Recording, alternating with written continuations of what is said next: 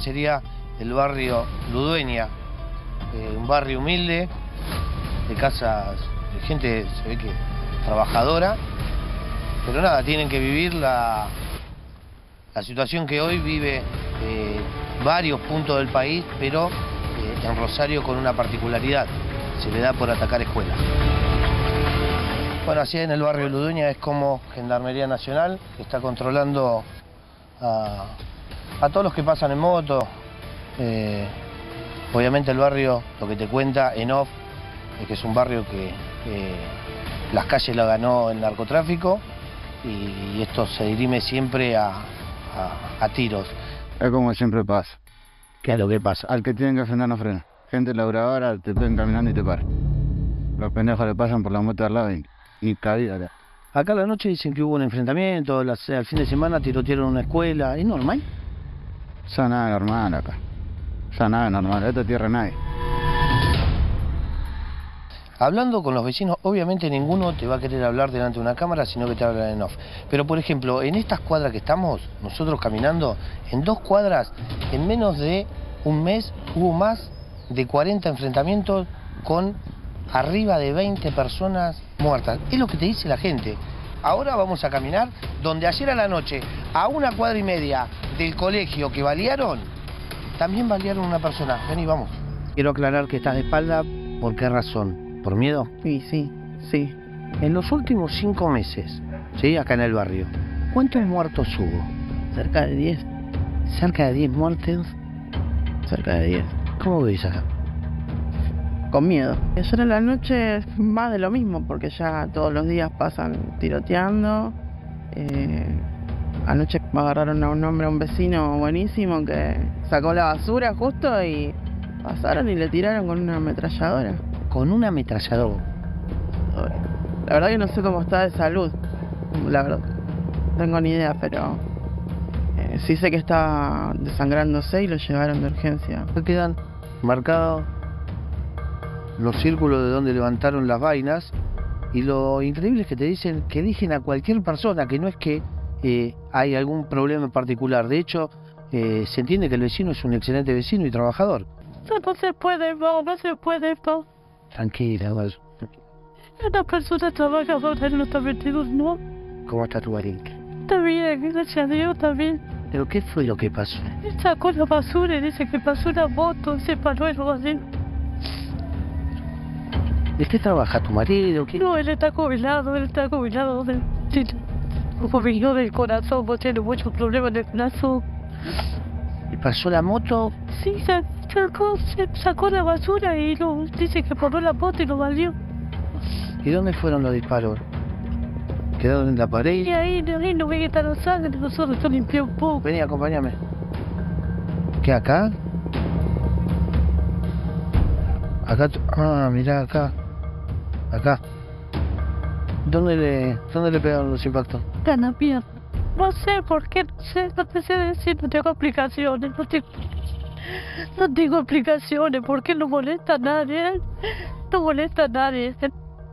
No sé, no sé por qué le hicieron eso. Yo tengo una angustia, una impotencia.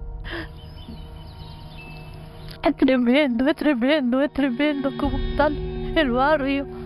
Tengo miedo, sí, me quiero ir a la mierda. Me quiero ir a la mierda, pero ¿dónde me a vivir? Me quiero ir. Yo tengo nieta, tengo mi hija, se va la nena a la escuela, todo. Tengo un miedo tremendo, te lo juro, tremendo el miedo que tengo, tremendo. No puedo creer porque a mi papá que nos quería mucho en el barrio. Sacó la basura, dos pendejos de mierda pasaron y dispararon. Tengo dos hijas, tengo mi sobrina que es bebé, no podemos salir ni a la calle, nada. A ver, si uno quiere lograr entender, balean un colegio donde las criaturas, acá, Y en el colegio de mi hija, mis dos hijas van ahí. Ahora mi hija no quiere ir más a la escuela. No quiere ir más a la escuela. Si ya le aviso a la maestra, no quiere ir más a la escuela porque tiene miedo. Es tremendo las cosas que están pasando. Policía pasó al lado del el que le tiró el tiro a mi papá y dice que no- ni cuenta que se dieron. ¿Cómo? Cuando lo llevamos a mi papá, pasó la moto. Y dice que no, no sabían ellos. Tengo mucha angustia, te lo juro. Hasta anoche, te lo juro, pensé de matarme. ¿Cómo? Anoche me agarró la desesperación de matarme. No, no, no me gustaría matarme porque estaba mi nietita ahí cortada conmigo. No, pero no, pues no, pará, pará, pará, pará. Pará, pará, pará, porque... Es tremendo esto lo que está pasando, es tremendo. Yo- No, pero no, eso no es una, Pero- una solución, no es una solución. No, no, mucho miedo tengo, mucho miedo, mucho miedo por mi nieta, por mi hijo. ¿Cómo explicarle a esa mujer desesperada que lo que le pasó no es solo un problema de inseguridad? ¿Cómo explicarle a la hija de esa mujer a, que, a quien, al marido, cuando fue a sacar la basura, le tiraron una ráfaga de ametralladora en la pierna? Pobre viejo que saca la basura y le cruzan una ráfaga de ametralladora en las piernas, cosa que se hacía antes cuando había peleas entre mafiosos, una advertencia para alguien que había hecho una traición. Pobre tipo iba a sacar la basura, no tenía nada que ver ni con los narcos, ni con los chorros, ni con nadie, era un jubilado que está internado y le metieron varios tiros en las piernas. ¿Cómo explicarle a la esposa desesperada que dice que se quiere suicidar que lo que le pasa no es solamente inseguridad? ¿Cómo explicarle a la hija de esa mujer y de ese hombre a quien le balearon las piernas que lo que le pasa a su nena que no quiere ir a la escuela, que también la balearon, no es solo inseguridad? Claro, porque pensémoslo de esta manera. Todos tendemos a decir que esto es inseguridad. Pero la inseguridad, en definitiva, el robo, tiene un móvil económico. Cuando uno lo van a robar y las cámaras de seguridad se cansan de mostrar esto todo el tiempo, buscan un celular, buscan la mochila, buscan plata, buscan plata. Cuando entran a una casa, buscan plata, buscan robar cosas que después se convierten en plata. Pero acá, ¿qué razón hay para dispararle una ráfaga de ametralladora? Y además, una ametralladora en el mercado de Lampa es algo caro, no es algo que se consiga así nomás. ¿Por qué dispararle una ráfaga de ametralladora a un pobre viejo que va a sacar la basura? ¿Cuál es el motivo, cuál es el criterio? ¿Por qué disparar contra escuelas si no hay mensajes? ¿Es solo inseguridad o es una manera de crear un nuevo terrorismo, de asustar? Porque en definitiva esto es lo que pasa. Esa gente, ese barrio, están muertos de miedo. No quieren salir a la calle, las pibas no quieren ir a la escuela, la mujer no sabe qué hacer, por qué le balearon al marido y eso es solo una parte muy chiquita de Rosario porque los episodios se repiten en otros lugares, pese a que fue la gendarmería, pese a que nunca llegó el ejército, no cambia mucho. ¿Podría el gobierno nacional hacer algo? Sí, podría, pero otro gobierno, no este. Este es un gobierno progre, impotente, que este, cuida más las formas que lo que tiene que hacer, que desmanteló la AFI, que desmanteló la inteligencia penitenciaria, que tiene miedo de avanzar en algunas cosas, mientras tanto el deterioro social se va convirtiendo en esto. Pero no solamente es en Rosario, donde se ha perdido la lógica económica del delito o de estas cosas que generan sobre todo impacto. Piensen lo, de los colectiveros. Nosotros la semana pasada aquí en GPS analizamos lo que pasó con el colectivero Daniel Barrientos. Y recuerden lo que nosotros les contábamos, no tenía razón económica esa muerte. Porque a Daniel Barrientos iba manejando un colectivo y no hizo nada, no separó la mano del volante y le metieron dos tiros.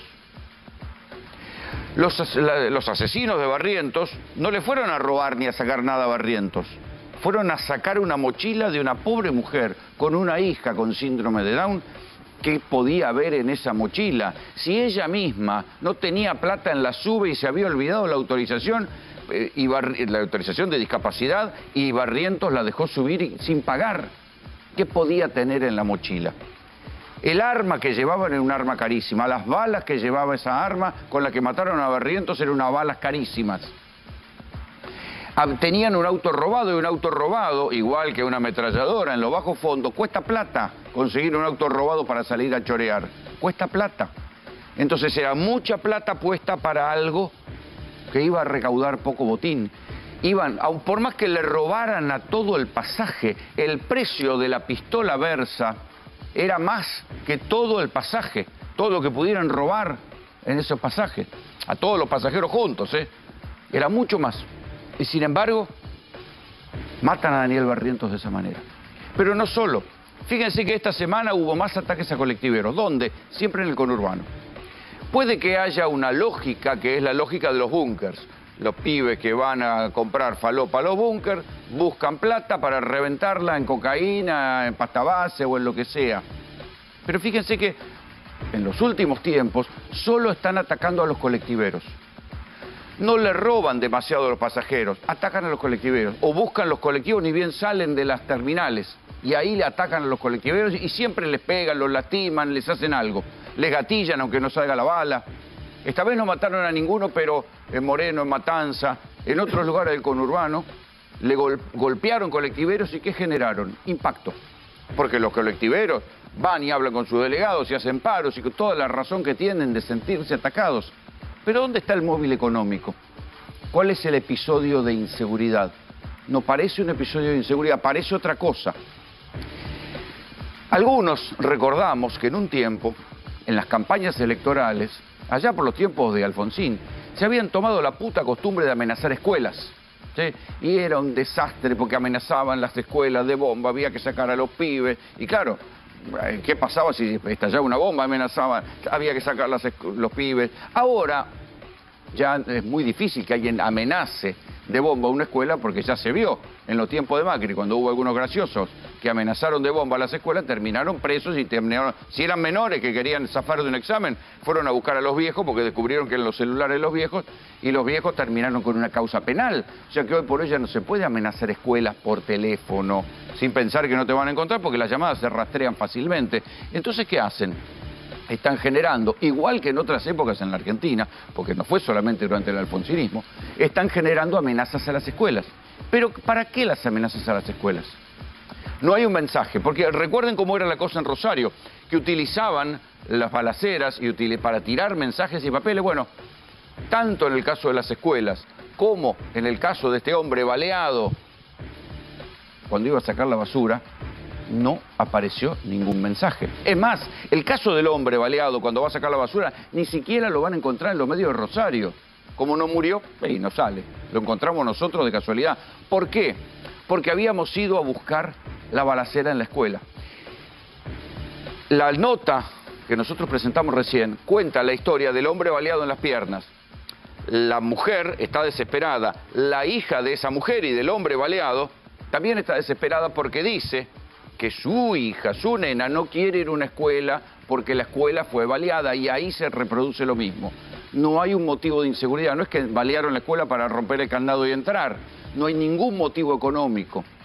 Y esto, de que es otra cosa que no es solamente inseguridad, lo saben las propias maestras.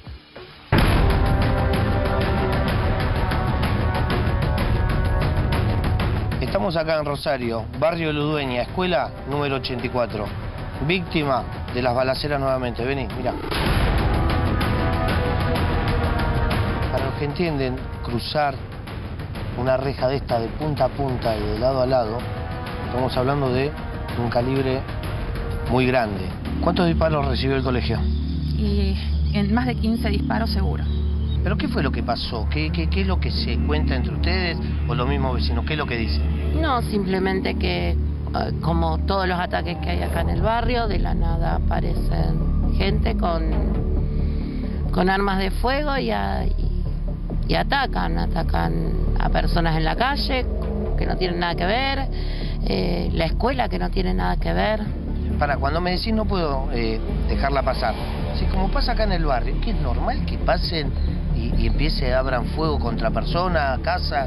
Esto está naturalizado. Yo no le decía a nadie lo que sentí cuando escuché, eh, cuando llegué acá esta noche y escuché a mi compañera docente que vive aquí al lado desesperada porque se había tenido que tirar cuerpo a tierra con sus hijos por, por la balacera tremenda que habíamos sufrido. Es decir, ella estaba acá cuando... Claro, ella vive acá. Vive al lado y las balas, por suerte, no fueron hacia ahí, no llegaron hasta ahí. ¿También balacera en esta escuela? Sí, sí, bueno, el sábado, siendo las 23.30 más o menos, se me informan de que hubo una balacera en el frente de la escuela. ¿Cuántos disparos efectuaron contra la institución? Había marcado seis, seis disparos. También la misma modalidad que el otro colegio, pasa una moto Fue y dispara. simultáneo, creo, porque va, con diferencia de, de minutos. Este, en la escuela 84 y la nuestra, esa noche. Los proyectiles ingresaron al colegio. Traspasaron porque eran balas de, de gran calibre y por lo que dijeron los peritos, que traspasaron, sí, las chapas del portón y, y- y- y ventanas y bueno, pasaron a lo que es el hall, la parte delantera, que no hay aulas ahí. ¿Por qué pusieron todos estos carteles? Debajo de estos carteles están todas las, las balas. Estos carteles fueron hechos por los niños y por sus familias eh, para demostrar y expresar eh, qué están pidiendo. Los disparos fueron todos, por lo que veo, son estos. Tenés ahí, tenés acá, tenés acá. Le, le llegaron a pegar a la reja. Esto es un disparo. Otro disparo tenés acá. Seis disparos. Ayer mismo hubo otra balacera acá a unas pocas cuadras, eh, plena hora del día. Anoche, no- nosotros nos enteramos porque los chicos nos cuentan. Nos duele, no es miedo, es, du- es dolor, porque la escuela es el lugar más sagrado que tiene un chico, un- es su lugar seguro, su lugar para su, su primera socialización.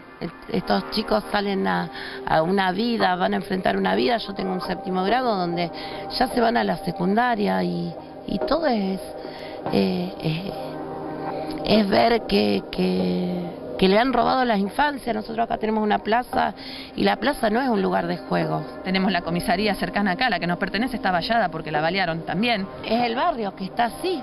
Ellos eh, saben lo que es una balacera. ¿Puedo decir que hoy los chicos saben quién es el dealer, quién es el narco, quién es el Todo el tiratiro? barrio lo sabe. La policía también sabe. Todos sabemos. ¿Tienen cámaras acá? No. Y si las tuviéramos nos las hubieran robado. Así de sencillo. Porque acabo pone una lamparita y esa misma noche te la sacan. Están pasando en varias escuelas de Rosario. Este, una modalidad que han encontrado para, para enviarse mensajes, indudablemente. Para vos esto, ¿qué, qué es lo que está pasando? ¿Terrorismo? Eh, es una palabra fuerte y que trae mucha, mucho dolor, sobre todo en nuestro país, ¿no? Pero con todo lo vivido, es otra clase tal vez de terrorismo, otra forma de, querer sembrar terror, lucha de territorio, de decir, bueno, de acá hasta acá nosotros manejamos la zona, mm, y que hablo con términos como hablan, como escuchamos hablar acá este, en el barrio, y, y bueno, es eso, es eso, y nadie lo frena. Mataron a un chiquito de 11 años en un grave episodio y varios resultaron heridos, atacados a tiros por un hombre cuando terminaba un cumpleaños en la calle. Recordemos que en este colegio venía Maxi Jerez, el chico eh, del barrio Los Pumitas que fue asesinado con sus dos primitos. ¿Estaba en este colegio él? Eh, sí, los tres nenes son, son, son- asisten a esta escuela. Eh, Maxi eh, tendría que haber estado en séptimo grado. Eh, los otros dos, que son familiares también, eh, vienen, están ya de vuelta en la escuela y bueno, están cursando. Ahora, bueno, evidentemente también el miedo a muchas familias que los asusta, entonces eso también hace que sea difícil continuar. Ya faltaba tocar eso. Y no, ya está, hasta acá.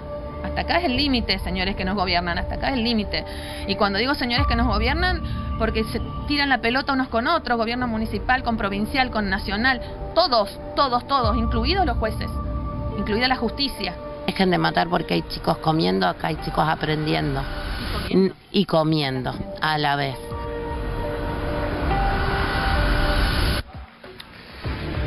Esa frase que decía dejen de matar porque hay chicos comiendo es la frase que se utilizó en una célebre canción de León Gieco. Aquí no hay, aquí solo hay pibes comiendo.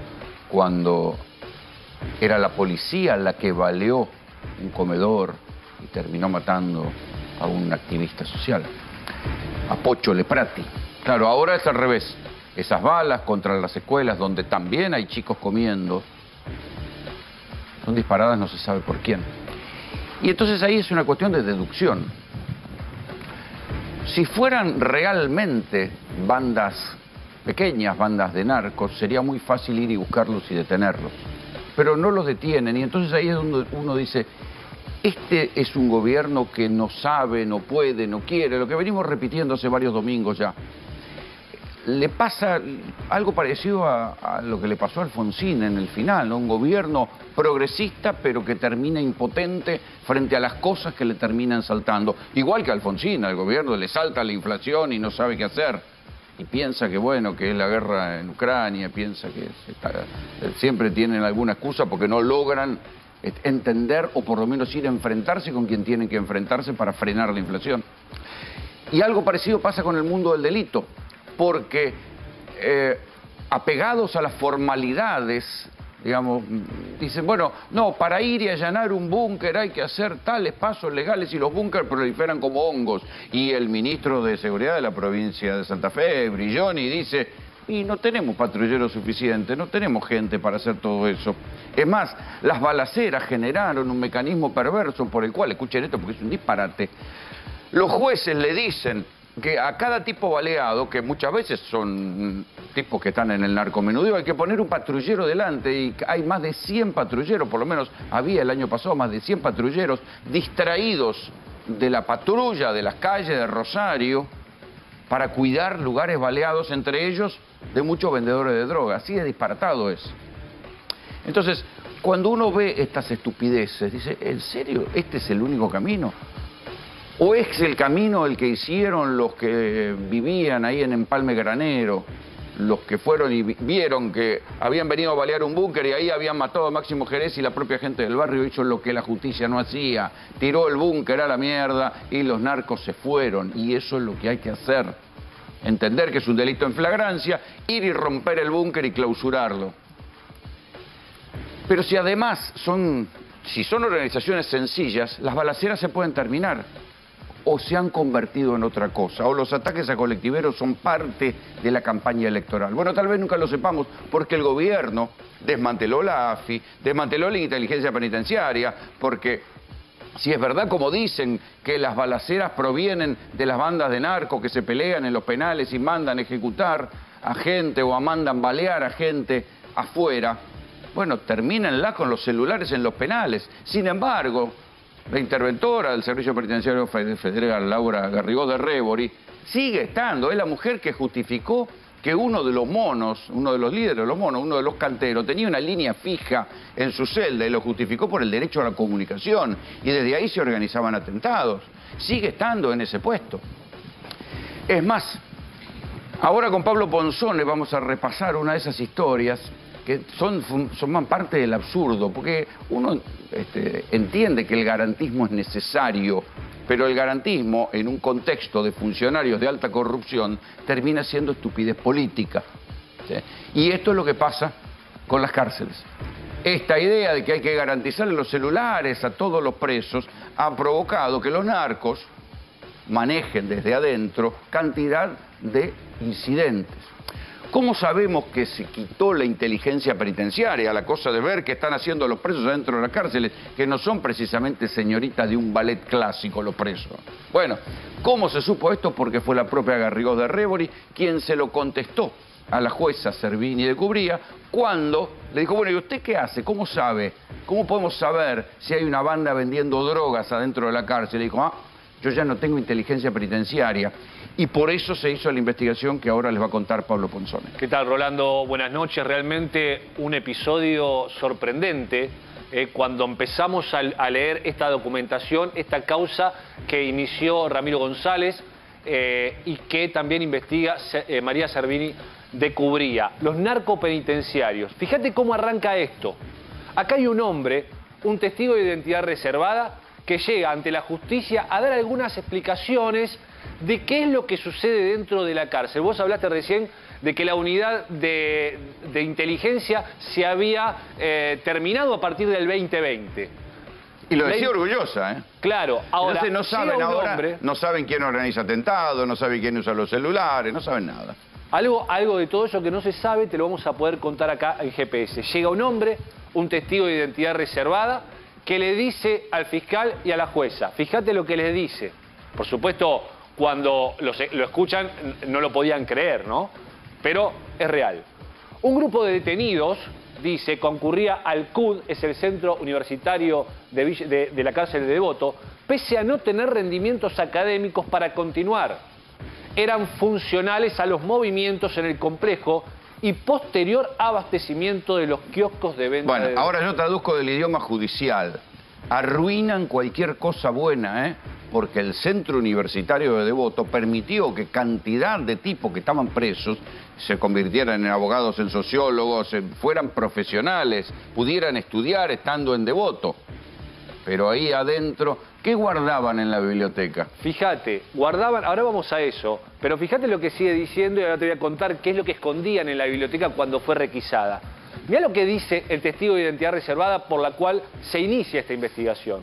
Los internos que estaban bajo los, efectos de estas sustancias recibían informes criminológicos favorables y accedían o avanzaban en el régimen. O sea, los que compraban falopa a los ¿Qué penitenciarios les iba mejor. decir? Exactamente. Ah, los tipos que compraban Tenían buena formaban parte conducta. de la Ponía- porque ponían plata. Exactamente. Y ahora te voy a decir No, le, cómo la... le hacían el doble servicio. Te conseguían los certificados y además te vendían falopa. Ahora te voy a decir cómo conseguían esa droga y cómo conseguían eh, todas estas prebendas.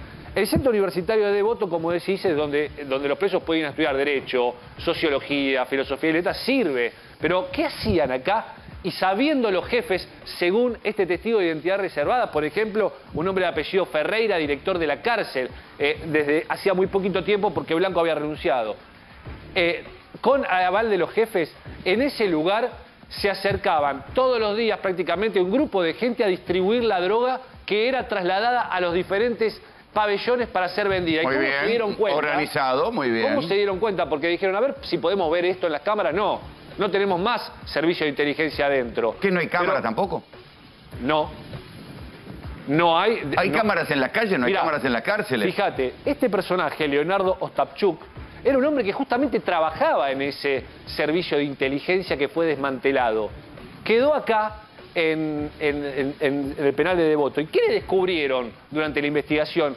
Que tenía eh, cobros por 780 mil pesos entre enero y octubre del 2021 a través de Mercado Pago por parte de los familiares de los detenidos. ¿Qué es lo que le pagaban esos tipos? Le pagaban la droga. Pero no un poquito de droga, le pagaban la droga para la distribución dentro del penal. Cuando llegan a allanar justamente este centro eh, universitario, van con perros, lo hacen a las 4 de la mañana, por supuesto, como parte de, de un, de una- un elemento sorpresa. Llegan al lugar y no encuentran droga. La droga no la encuentran más allá de que tienen un montón de pruebas. Sí, pero hasta que para- entraron le dijeron, che, muchachos, limpien. Bien, sí. Porque allanaron con la Policía Federal, Allá- no con los penitenciarios. No, O sea, allá, hasta que entras no a los puede, pabellones. No puede, de hecho se hizo en secreto para que no haya Eh, bueno. alguna batida que evidentemente hasta tampoco que te habría van funcionado. abriendo los candados, hacen lo que quieren. Empiezan a revisar los libros dentro de, de- de ahí, de, de ahí mismo de- del centro universitario y encuentran este libro que es un libro de derecho que se llama, bueno, Academia, es un libro de derecho que, que se utiliza para estudios. Pero mirá vos la particularidad. Abren este libro, como todos los otros libros, y encuentran las hojas caladas y dentro de esas hojas caladas un celular y un pendrive que evidentemente era utilizado eh, discrecionalmente por quien ponía el dinero para hacer este tipo de fecho- fechorías que estamos Mirá. contando. Claro, nunca lo iban a semana. encontrar. ¿Cómo? Ese teléfono nunca lo iban a No encontrar. lo iban a encontrar jamás. lo dejaban en ahí. ninguna requisa. ¿Qué pasa acá en este asunto? 14 allanamientos, hay 5 agentes penitenciarios que fueron, eh, que fueron detenidos y 8, presos que también fueron identificados dentro de esta organización que no son ninguno bebé de pecho, eh, todos tipos con 19 años de cárcel para arriba, secuestradores que formaban parte de esta organización, de esta pyme que eh, estaba y se desarrollaba en el penal de Devoto. ¿Cómo hacían la operación? Se juntaba Ostepuk, que es este agente peniten- penitenciario que después va a ser derivado a otra y, y haciendo otro, otra trampa termina saliendo eyectado del servicio penitenciario en Marcos Paz porque se, se juntaba demasiado con presos que no debería haberse juntado. ¿Por qué? Y bueno, porque estaban haciendo lo mismo también en Marcos Paz. Pero ¿qué hacían acá? Se juntaban eh, en la Shell de Tecnópolis o en el shopping de Devoto, donde le llevaban una mochila con droga y este personaje llegaba, llegaba al servicio penitenciario, a la cárcel, y nadie... Aunque no tenía por qué haber estado. No tenía por qué estar, iba, ese es otro de los detalles, iba, era Sarmiento, era Sarmiento, iba todos los días.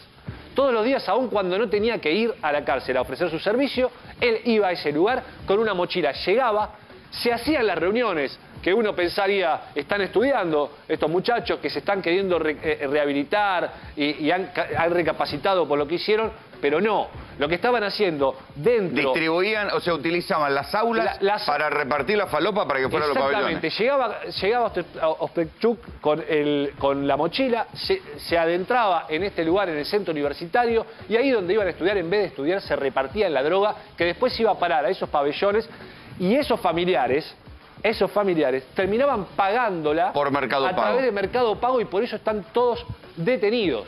Esto acaba de suceder eh, este fin de semana, entre el jueves y el viernes, cayeron los narcopenitenciarios, pero por supuesto averiguando eh, en la justicia me dicen, mira, todavía no sabemos si el que está preso es el líder de la banda o si hay alguien más. Mira, te voy a decir algunos nombres, por ejemplo, personas que están involucrados y que fueron nombrados por el testigo de identidad reservada, en una denuncia que finalmente se terminó concretando, que se terminó comprobando, porque están todos estos pagos y por supuesto la declaración de este testigo. Eh, Ferreira era el director, el director de la cárcel. ¿Lo Morales, sacaron? jefe de tratamiento. ¿Lo sacaron? Por ¿El ahora no tenemos ninguna novedad de que los Ah. hayan sacado.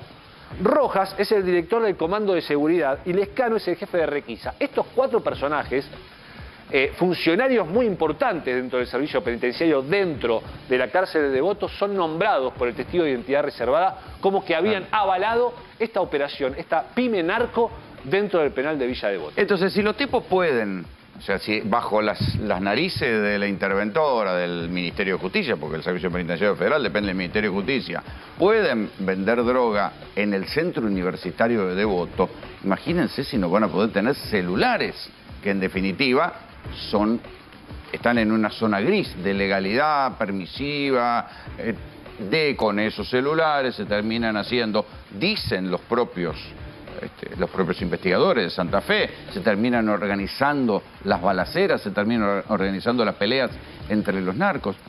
Ahí es el punto donde uno dice, bueno, si son efectivamente presos, si son efectivamente bandas de narcomenudeo las que generan los atentados contra los colectiveros o los atentados en Rosario, son fáciles de desmantelar. Pero acá parece otra cosa, porque no tiene razón económica. Y recuerden siempre que este es un año electoral. Bienvenidos, esto es GPS.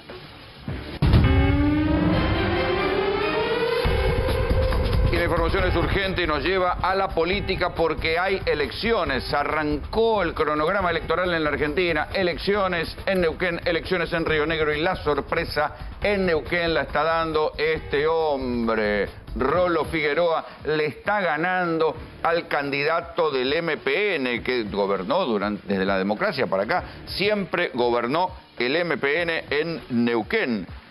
Marcos Kupman era el candidato que está perdiendo. ¿sí? Están perdiendo ahí, están en 35 contra 32, 35,7 contra 32,4, más o menos 80%, 80% de mesas escrutadas. Nos vamos ya mismo a Neuquén.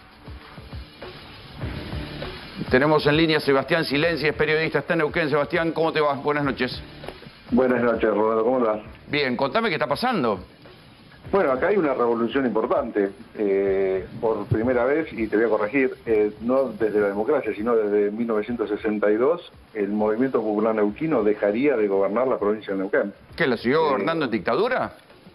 No, claro, bueno, el proceso desde que arranca Neuquén, después de que deja de ser territorio nacional, históricamente en las elecciones donde se pudo votar, las condujo siempre el ganó- MPN. Siempre el MPN, tres elecciones continuas llevaba el MPN hasta acá. Yo te diría que hasta ahora la tendencia es irreversible. 1.517 mesas de 1.663 hay un escrutinio provisorio. Las mesas procesadas son el 91,22% y a esta hora, dame un segundito que tengo el machete acá, eh, el, el candidato Rolando Figueroa del Partido Comunidad de Desarrollo Ciudadano junto con sus colectoras se estaría alzando con el 35,61% de los votos contra el MPN que le era Marcos Kopman, eh, que es el actual vicegobernador de la provincia, contra el 32,67% Claro, de pero los esto, votos. ¿y qué pasó con los partidos nacionales? ¿Qué pasó con Juntos por el Cambio, con el Frente de Todo, con el, el candidato de Milei? ¿Cómo les fue? Bueno, la verdad que eh, lo que mostraban en su momento algunos escenarios políticos uno pensaba que iba a haber una elección un poco más pareja. En tercer lugar aparece el Frente de Todos Neuquino, que lleva a Ramón Seco, es el hombre de Cristina Fernández de Kirchner. 12,66% de los votos hasta acá, ¿no? Con este cantidad Sí, sí. de mesas ejecutadas que te decía. El, el Partido de los Libertarios, eh, en principio, ha hecho una buena elección. 8,26% se pone en cuarto lugar por encima de Pablo Servi, que tiene Juntos por el Cambio. A ver, hay que hacer un análisis acá. Juntos por el Cambio acá estaba muy atomizado. Recordar que muchos candidatos de o referentes políticos del PRO de la Unión Cívica Radical se fueron con Rolando Figueroa en su Ajá. momento. Sí, por eso no viajó nadie, Claro. no viajó nadie de Juntos por el Cambio, ninguno viajó a Neuquén a sacarse la foto. Viste que cuando ganan en una localidad cualquiera perdida en Córdoba van y se sacan toda la foto, ahora no viajó ninguno. Rolando, yo me ta- estaba pensando mientras, eh, antes de, de- de poder comunicarme, que es un desastre poder comunicarme, la verdad los teléfonos andan muy mal, pensaba, digo, tal vez en Aeroparque ahora haya un par de movimientos, ¿eh? ¿Vos decís? Y bueno, yo creo que... es- Pero o sea, pará, que vuelvo a ¿quién, decir- ¿quién apoyó al ganador a nivel nacional? Bueno, uno hace referencia a parte de- del PRO, Mauricio Macri apoyaba a los candidatos que estaban con Rolando Figueroa. Ajá. Eh, hay una, una, una, una, una situación extraña política, digo, porque también parte del Frente de Todos estaba apoyando, a- no sé si, a ver, o por lo menos gente que está hoy en el Frente de Todos a nivel nacional, eh, estaría apoyando también desde lejos a Rolando Figueroa. Por eso digo, tal vez esto eh, sea un triunfo compartido para muchas fuerzas políticas. Hay que ver que se saca la foto con Rolando. Claro. ¿Y cómo eh, puede pegar un cambio de gobierno en la provincia de Vaca Muerta? Yo creo que hay, eh, a ver, eh, va- creo que es muy difícil pensar ahora, hay que sentarse muy bien a hacer el análisis, pero después de tantos años de que gobernara el Movimiento Popular Neuquino, con todos los engranajes eh, funcionando como, como venían funcionando de tantos años, esto es como barajar y dar de nuevo. Eh, la verdad que la cuestión política en Neuquén hay que ver cómo se arma. En ningún momento, las veces que he entrevistado a Rolando Figueroa, jamás nos pusimos a hablar de cómo se imaginaba él el armado provincial. Él tiene que armar absolutamente todo un gabinete, porque él, por más que su- surge del Movimiento Popular Neuquino, él se fue por del Movimiento Popular Neuquino. De hecho, el Movimiento Popular Neuquino, por carta orgánica, al presentarse por otro partido, lo expulsó. Entonces ya no pertenece más al Movimiento Popular Neuquino. O sea, es- esto es barajar y dar Claro. de nuevo. Pero no se puede, a ver, y si tuvieras que hacer una lectura, o se puede hacer alguna lectura comparado con lo nacional, porque por ejemplo uno puede decir, bueno, Sí. está perdiendo un oficialismo, que esta es otra de las cosas que se ve, que en varias provincias los, los oficialismos están en crisis. Sí, la lectura, si querés hacerla, o sea, el Frente de Todos creo que ha hecho una muy mala elección, se esperaba que haga una elección, eh, o sea, que no, no, no contribuya a esta polarización que se, se viene dando y sin embargo no lo logró hacer. Pero bueno, eh, también te vuelvo a repetir, Juntos por el Cambio, por ejemplo, se esperaba que Pablo Servi, con el sello de Juntos por el Cambio, como, que, como logró te- mantener, haga una mejor elección. Tampoco lo está Sí, haciendo. una, una conclusión es que ahí los sellos no te garantizan nada, ¿eh? Exacto, ni los sellos, ni tampoco ningún tipo de armado político. Eh, sí, por ejemplo, acá lo que se ha, creo que se ha, la gente se ha volcado es a, a la figura de Rolando Figueroa como una persona que le ha garantizado o le ha, le ha puesto en la mano de la gente, la mayoría de la gente, la posibilidad de un cambio real. Ahora, explícame cómo es esto, porque ya Mauricio Macri se está notando como propio el triunfo y está felicitando a Rolando Figueroa, ahí está. Pero, pero el Junto por el Cambio perdió, salió último. es que vuelvo a repetirte. Eh, parte del PRO eh, se fue con Rolando Figueroa, fue Ajá. parte de un acuerdo político, parte de algunos referentes, o sea, tenemos eh, distintos nombres, Leticia Esteves, tenemos a Marcelo Bermúdez, presidente del PRO, eh, se fueron de, rompieron la, la alianza de Juntos por el Cambio que lleva al radical Pablo Servi. Ah, lo dejaron, quedaron- ahí fue, eh, se Claro. rompió y los radicales quedaron en el camino. Y los del... Claro, Ajá. ¿Y estos de Juntos por el Cambio que son, larretistas o bullrichistas? Los de Juntos por el Cambio que están aquí son más eh, burrichistas, te diría yo. O sea, eh, la reta, de hecho... Ah, creo por que eso algún festeja momento- Macri. Ahí está. Y bueno, claro, bueno, ahí está, ahí está, ahí está la, la secuencia. Ahora, la vez que le pregunté a Rolando Figueroa por Macri, me dijo, yo con Macri no tengo nada que ver. eh". Bueno, Eso dicen todos. Eso. Ahí está, Horacio Rodríguez Larreta también se anota, ¿eh? Ahora se están, tenés razón, se están tomando los aviones. Felicitaciones, Claro, Rolo Figueroa, por esta gran elección después de 60 años. Vamos a cambiar Neuquén. Larreta se sube al bondi, ¿eh? Con transformaciones necesarias. Celebro el cambio de rumbo que eligieron los neuquinos. No tengo duda que es el camino de transformación del país. Sí, doctor Sí, pero vos sabés que en el desglosado, recordemos que en Neuquén rige lo que es la ley de lemas, en el desglosado de las listas que apoyan justamente a Rolo Figueroa, el PRO, la lista 64, solamente tiene 4,24% Correcto. de los votos. O sea, es Bueno, muy eso- poquito el porcentaje del Que PRO aportó. que apostó Sí. y que ganó. Sí, Sí, bueno, eso alcanza igual para entrar dentro del sistema DON, para ir a ocupar una banca, que es lo que ellos pretendían al- a la legislatura neuquina. Sí. Eh, acá, acá hay otro dato que hay que dar también. Eh, se elegía intendente en la, en la capital neuquina.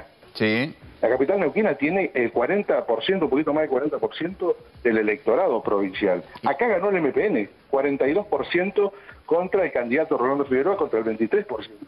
O sea, también va a haber una, una conjunción ahí, un- algo para analizar políticamente. ¿Cómo va a ser la, la relación que va a tener Rolando Figueroa con un gobierno en la principal ciudad de Neuquén, que sigue siendo el Movimiento Popular Neuquino? Sí, yo te diría que también rápidamente puede que Figueroa vuelva a las fuentes, ¿no? Digamos, ya lo expulsaron del MPN, pero bueno, como el hijo pródigo vuelva a- y termine pactando con lo que terminó echando, elija con quien quiera Acá, sin gobernar. lugar a ¿no? dudas, disculpa, acá sin lugar a dudas parte del MPN acompañó eh, la elección de Rolando Figueroa, eso no queda ninguna duda. Ah, mirá.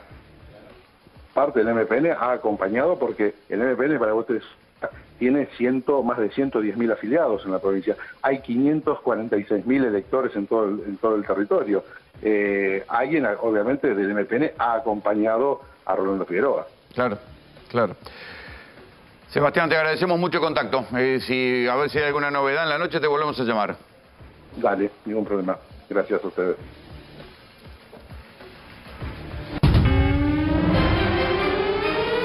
La información es urgente y nos lleva a una comisaría de Avellaneda. Ah, ¿Qué pasó, Pablo?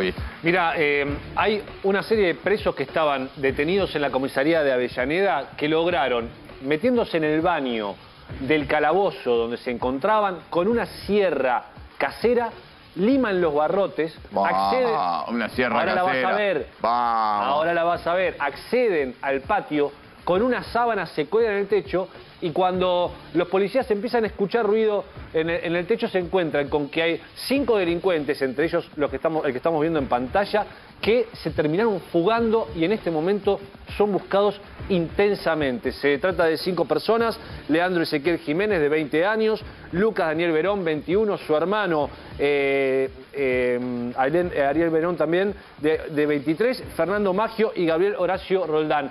Los cinco se escaparon realmente eh, algo increíble porque con esta sierra, ahora te vamos a mostrar, lograron rimar, mira, ahí está la sierra, con esa sierra tumbera, vamos a llamarle, lograron limar los barrotes. Esos barrotes que ves ahí, esto es la foto. Qué que capacidad, si la usaron para laburar, ¿eh? eh, los barrotes dentro del baño del calabozo y de ahí ganan el, el patio y con una sábana se cuelgan a los Mm. A techos. ver, Diego. Nicolás está ahí en Avellaneda. Che, ¿aprovecharon el partido Independiente Racing? ¿Estaban todos distraídos? Bueno, esto fue en realidad más temprano, fue a la madrugada, el partido terminó hace un rato, pero te puedo decir que la zona geográfica es muy cercana, ¿eh? porque uno se pregunta, ¿dónde está esta comisaría de Avellaneda? Avellaneda es muy grande y quizás piensa que es una dependencia chiquita, a lo mejor eh, un poco alejada de la zona céntrica. No, la comisaría eh, Avellaneda Primera está en la calle Lavalle, al 150, y es eh, solamente una cuadra y media, por ejemplo, de Avenida Mitre, que es la avenida más céntrica, y a tan solo también metros del estadio de Racing, del estadio de Independiente. Es la comisaría principal que hay en este distrito del sur del conurbano bonaerense. Es una, zona céntrica por donde todo el tiempo eh, pasa gente, inclusive a la madrugada, que fue cuando ocurrió esto. Fíjate cómo es eh, la característica de esta comisaría.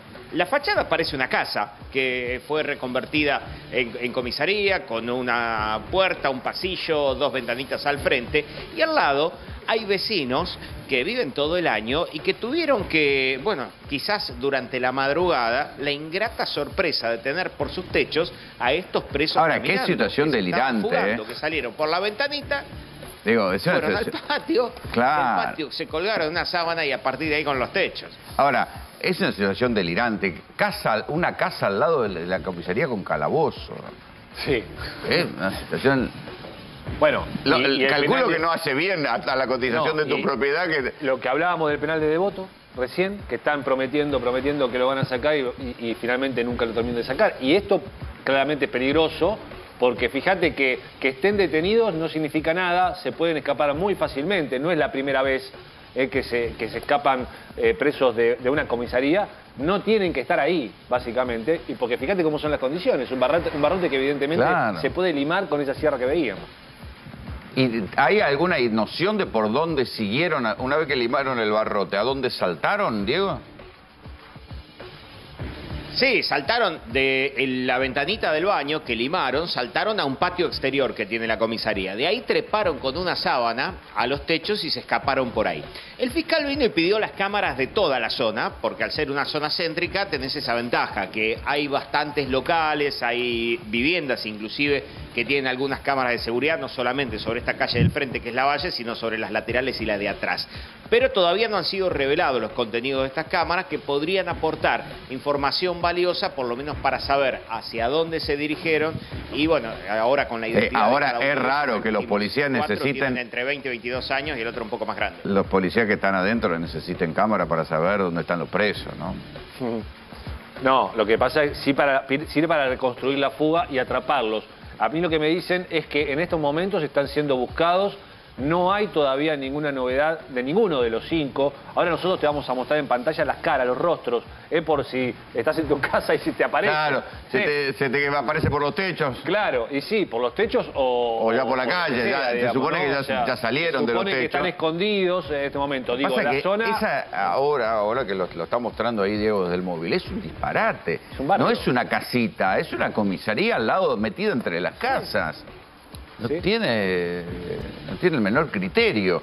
Y ya se sabe que las comisarías están abarrotadas siempre de presos. Porque pasan los años y dicen, no, vamos a descomprimir la comisaría. No, los, los tipos se terminan quedando ya sea porque coimean algún cana, ya sea porque un abogado pide para estar cerca de la familia, por lo que sea, o ya sea para tener una expectativa de fugarse. Hay que porque decirlo- se fugan más fácil de la comisaría que de las cárceles. Hay que decirlo, tampoco debieran tener, eh, salvo alguna casa, algún familiar, que es donde finalmente terminan atrapándolo. Fíjate que acá hay dos hermanos, Lucas Verón y Alan Verón, uno 21, otro 23, que terminan... ¿De qué estaban acusados? Bueno, ahora la verdad es que no lo revisé ese dato puntualmente. se- se es lo dijo que por allá, pasado, Diego? te lo, te lo averiguo. ¿De qué están acusados? Eh, a ver, la información que yo tengo es que estaban eh, acusados detenidos por delito de robo. Eh. Ese es el de delito que los cinco acusados tendrían. Por lo menos es la información preliminar que yo tengo. No sabemos si forman parte de una misma banda o si eran personajes que habían robado en diferentes lugares y Si se conocieron ahí en el calabozo. Clar- Claramente hay dos que son hermanos. ¿Eh? Claro. Y, y ahora seguramente vamos a ver, Romina, si tenemos la imagen de los eh, cinco, ahí yo se la había pasado a Julián, de los cinco detenidos. Ahí están, son esos. Eh, son esos, fíjate. Estos son las- los rostros eh, de, los, de los cinco eh, personajes detenidos, presos, que se escaparon. Todos prófugos todavía. Eh, Entiendo que no tenían ningún tipo de recurso económico para movilizarse, eh, salvo algún tipo de contacto con algún familiar. En general, siempre estas investigaciones empiezan, terminan por ahí, que es algún contacto con la familia cuando ya Sí, no sí. pueden más y terminan volviéndolos a agarrar. Pero en el medio, la situación es peligrosa para todos los vecinos. Claro. Hay que ver si todavía están en la zona, pero bueno. ¿Todos prófugos todavía, Diego? Sí, sí, hasta ahora no hay información de que se haya capturado ninguno. Lo que sí te puedo agregar como información adicional es que los policías que estaban durante la madrugada en la comisaría, en un momento escucharon un ruido, fueron al lugar, vieron la ventana abierta y tuvieron que ir a buscar una lista para ver cuántos presos había. Los Claro. contaron, cuando con- cuentan la Ah, cantidad de sí, presos que había, había- y los que tenían en la lista, había cinco menos. Claro, claramente entonces había muchos más de los que podían estar ahí, ¿no? Sí, sí. Diego, gracias por el contacto. Hasta luego. Y de Avellaneda nos vamos de manera urgente a otra provincia donde hoy hay elecciones, la provincia de Río Negro. Ahí está Carla Quierandini en Bariloche. Carla, ¿cómo te va? Buenas noches. Hola, ¿cómo andas Rolando, equipo? Bueno, así es, desde hoy a la mañana comenzaron los comicios. Al principio, a ver, lo único que sí notamos es que hubo retraso, ¿no? En, en cuanto a algunas urnas, en la apertura de urnas, o sea que se comenzó un poquito más tarde. Eh, también hubo, a ver, eh, poca, poca concurrencia, Rolando. A la- esto sí llamó la atención y llama la atención a, a- los, bueno, a, los políticos, ¿no? Que haya poca, ellos estaban como muy ansiosos y había poca concurrencia a las urnas. Mirá, eso es, Recién, es hace algo que es interesante el dato. Sí. Es interesante el dato porque se repite Sí. algo que se vio en algunas elecciones internas, que poca gente fue a votar. Bueno, en las elecciones generales ya empieza a verse entonces. Sí, Rolando, y también un poco de confusión. Si bien los medios, eh, a ver, han tratado de instruir a la gente cómo venían las listas, había muchos colores eh, a la hora de votar. Si bien acá no era como en Neuquén, sino que acá se podía cortar boleta, eh, hubo, hubo muchos colores en cuanto a las listas y hubo, bueno, eh, un, un candidato, de hecho, bueno, eh, es, es de público nada conocimiento, Alberto Bretigné, que estaba en tres de esas, eh, de esas, de, de esas listas, Claro. ¿no? O sea, tenía Se había lista listas colectoras, como en Neuquén. colectoras. Entonces, bueno, Exactamente, estaba en la lista de la UCR y después también en la lista del peronismo, ¿no? Mm. Eh, el, el peronismo fue ahora dividido, eh, una, de, una de esas partes fue con la exdiputada eh, Silvia Horne, que incluso está tercera, ahora te voy, a, te voy a decir los datos exactos porque estamos acá incluso en uno de los Sí, búnkeres. ¿cómo están los eh, números? ¿Hay, hay cifras? ¿Hay cómputos? Sí, sí, sí, hay cómputos. Bueno, eh, al principio apenas empezaron los cómputos, que eso- esto ocurrió hace media hora aproximadamente, eh, no estaba tan fácil para Alberto Bretigné como se esperaba eh, en cuanto a los cómputos, ¿no? Eh, en este momento, mira, te digo las cifras ex- exactas. Eh, por Juntos Somos Río Negro, está al 37%, Ah. Tortorielo... eh, cambia Río Negro al 24%, que cuando comenzó era muy poca la diferencia, cosa que también llamó la atención. Y luego eh, Horne, que justamente es esto del peronismo que está dividido porque fue en dos, en dos boletas distintas, ella es la exdiputada eh, que era miembro del movimiento Evita, ¿no? Y eh, tiene un 13 por- 13,3%. Luego viene Rivero, que es el otra, la otra parte también del peronismo, con un 9.6 y bueno, otros y en blanco. Esas son cifras que da el 16,1%. comando Esto es provincial. ahora mismo. El comando electoral provincial, porque acá hay otras cifras a nivel nacional. Esto es de provincial. Esto lo que te estoy diciendo, Rolando, es provincial ahora hasta el momento. A ver, sí, pero- pero besito, porque acá en las 37% computadoras- 24% Tortorielo. Tenemos un- otros Sí. números en las computadoras nuestras. ¿eh? Sí, lo que está diciendo justamente la, la- la página oficial de datos oficiales de Río Negro, que con el 7,25% de las mesas escrutadas tiene Tortorielo 26,34, Hueretinec 24,67. Estarían invertidos lo que es la O cifra. sea que esta, o sea que falta una Esto es- actualización ahí. Esto es oficial, ¿no? La actualización es 2045. Es la última minutos. actualización, Rolando. Ajá. Esos son Claro, cifras bueno, oficiales. son- es- es- se va modificando, claramente, Claro. porque, porque Claro. son- todavía es un porcentaje. Claro, es un chico de la porcentaje. Ahí está, entonces, algo- 8.32. Ahí actualizó, a ver. Claro. Ese es el porcentaje. O sea, solo 8% está escrutado, Carla. Exactamente, sí, incluso estoy, hasta ahora mesas escrutadas 42,72% son los datos provisorios. Ah, no, Incluso pero tenemos- tenemos datos del- distintos. Tenemos datos de uno de distintos, ¿eh? búnker. Porque nosotros tenemos Mira, acá. ¿querés que entre acá al búnker? No, acá la. Y están, está en la- justamente No, la pantalla. ese 45% tiene más cantidad de Claro, votos registrados que en la web acá nos, está dando 8%, lo estamos mostrando en pantalla, por eso te digo. O sea Quizás que, hay otro, hay otro canal de información ahí y, y- Claro. y cambian los números, ¿eh? porque está dando otros números. eh, ¿Esto es a nivel provincial o es solo viene- Bariloche? No, no, no, esto es a nivel provincial, Rolando Bariloche, te cuento, está el 35,8, Mm. Y Tortorielo 22,2. Estos Ajá. son datos oficiales. Ah, bueno, entonces está desactualizada la página acá. No. Incluso voy a chequear ya en este momento, pero esa es la- esos son los datos. Ahora, se, esperaba una, una distancia en favor de Boletín que no estaría habiendo, por lo menos con estos datos que nosotros Claro. tenemos. Sea, hay que ver si, si estamos, nosotros Mira. estamos en 8%, 8,32%, si, hay, si pasa el 40% ya es un número Claro, mucho más firme. sí, sí, sí. Mira, eh, Rolando, acá tengo otro dato que es 8.165 votos Alberto Bretignek, 6.351 votos Aníbal Tortorielo. Esos son datos oficiales hasta la última actualización que fue a la hora, la- hace unos minutos. Ujú. Bueno, vamos a seguir esperando entonces, Carla, y te volvemos a llamar. A ver cómo, cómo sigue la noche. Perfecto. Gracias. Perfecto. Bárbaro.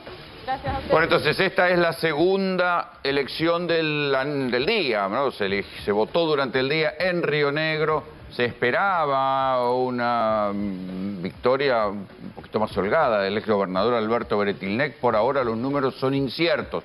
Del otro lado del río, en Neuquén, lo que está pasando es la sorpresa. Rolando Figueroa, Rolo Figueroa, está ganando con una coalición que tiene larretista, macrista, gente del MPN, algunos peronistas, está ganando por primera vez en 60 años al MPN, al Movimiento Popular Neuquino.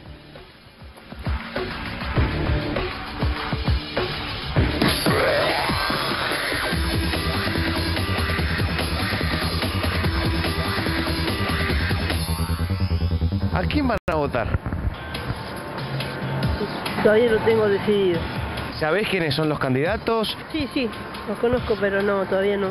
Seguramente a otro partido que no sea el, el, que estamos teniendo ahora. Me preocupa que no sepa a quién votar porque realmente las propuestas políticas son penosas. Lo único que parece que se eh, busca alimentar la grieta, se busca alimentar este, las broncas y no las propuestas concretas para salir de esta crisis tan terminal que estamos sufriendo. Cuando ingresemos al cuarto oscuro, ese es el problema. ¿Qué, vamos a votar? ¿Vamos a votar por bronca o un voto racional? Vende más el insulto, vende más este, la bronca hacia que la propuesta concreta. De los tres candidatos principales o de los candidatos principales, todo parece vender lo mismo. Todos venden esperanza que van a resolver todo. Yo, si te tengo que decir, en este momento votaría en blanco porque siento una profunda decepción por cada uno de, de los futuros candidatos. ¿Sabe a quién va a votar? No, la verdad que no. No tiene No idea. tengo ni idea. ¿Sabe el amigo a quién va a votar? No, por ahora no, no sé, no tengo idea. La verdad que no. La verdad está complicado el asunto, ¿eh? Como estamos viviendo, no votaría a ninguno, a ninguno. Es una vergüenza lo que están haciendo con nuestros países. Se llenan los bolsillos ellos y a nosotros nos dan, perdón la expresión, una patada en el culo. ¿Querés que te diga qué es lo que voy a votar? Me voy a comprar un profiláctico y voy a meter en el, voy a meter en el sobre. ¿Y no le ve salida a ningún candidato? algún candidato. Cuando yo, cuando a mí me preguntan, cuando tenemos, cuando nos juntamos, eh, me dicen mi ley. Yo digo mi ley y me dicen vos estás loca y no, le digo. Dentro de la locura que tiene, me parece que, o si no que salgan los militares, que salgan los militares. Dice que el voto es secreto y obligatorio. Ah, claro, claro. Así que bueno, en principio partimos de esa base. Pero votar, espero votar. Me gusta este, ¿cómo es el pelado? ¿La reta? La reta. ¿Le gusta la reta? La reta sí. Por lo poco que entiendo, lo escuché mucho al pelado y piensa hacer algo, poner mano dura para la delincuencia. Pero si no, los otros no hacen nada. Si lo votamos los otros, va a seguir lo mismo. ¿Sabe la juventud a quién va a votar? No, ni idea. No tenés ni idea. Idea, la ¿No sabés si vas a ir por el lado del oficialismo, la oposición? No sé, todos me decepcionan. ¿Te decepcionan todos? Absolutamente, sí. ¿Sabés a quién vas a votar? No, no sé. No tengo A ver, pensado el todavía. No tengo pensado. Es muy, muy temprano para pensar en eso. ¿Sabe a quién va a votar, señora? Eh, sí, pero no te lo puedo decir. Se lo guarda. Claro, me lo guardo. ¿Y hay, hay algún candidato que te represente? No, ninguno, pero tengo que elegir. Nada más. Señora, ¿sabe a quién va a votar? Alberto no. Sabe, por lo menos sabe a quién no. ¿A quién no? Exactamente. A cualquiera menos Alberto. Nos defraudó totalmente. ¿Sabe el amigo a quién va a votar? Yo no voto, señor. ¿Por qué no? Yo no, soy anarquista. ¿Sabe el amigo a quién va a votar para presidente? No, ni idea. No, te- ¿Estás decepcionado? Sí, exacto. ¿A quién, ¿A quién va a votar, maestro? No, a nadie. ¿A nadie? Imposible nadie. Porque no, son todos rechazadores. ¿Pero voto en blanco, voto nulo? No se vota. Un voto no va a hacer nada. Si todos los, todos los votos están comprados últimamente. El único que me podría llegar a convencer es mi ley, pero tiene una pinta de loco. ¿Sabe el amigo a quién va a votar? Ni idea. ¿No sabe? ¿No le importa? ¿No, no conoce? No sé de qué me estás hablando. Tiene cara de saber a quién va a votar el señor para presidente. Mi ley, sin duda. Mi ley, sin duda. Totalmente. Es muy claro en lo que va a hacer eh, y el concepto está bárbaro. El gobierno saquea a la gente mediante impuestos, mediante medidas. El, la, inflación que hay es brutal. Lo que dicen de 90% de inflación es mentira. Fíjate en cualquier producto, desde el más chiquito, un chupetín en el kiosco, una bebida saborizada, por no decir agua, cuando necesitas, eh, valía 70 pesos hace dos años. Hoy vale 350. Estamos hablando de un 400% de inflación en dos años. Me parece que es un dato no menor y que, digamos, resume lo que está pasando hoy en día. La inflación y la inseguridad están provocando esto.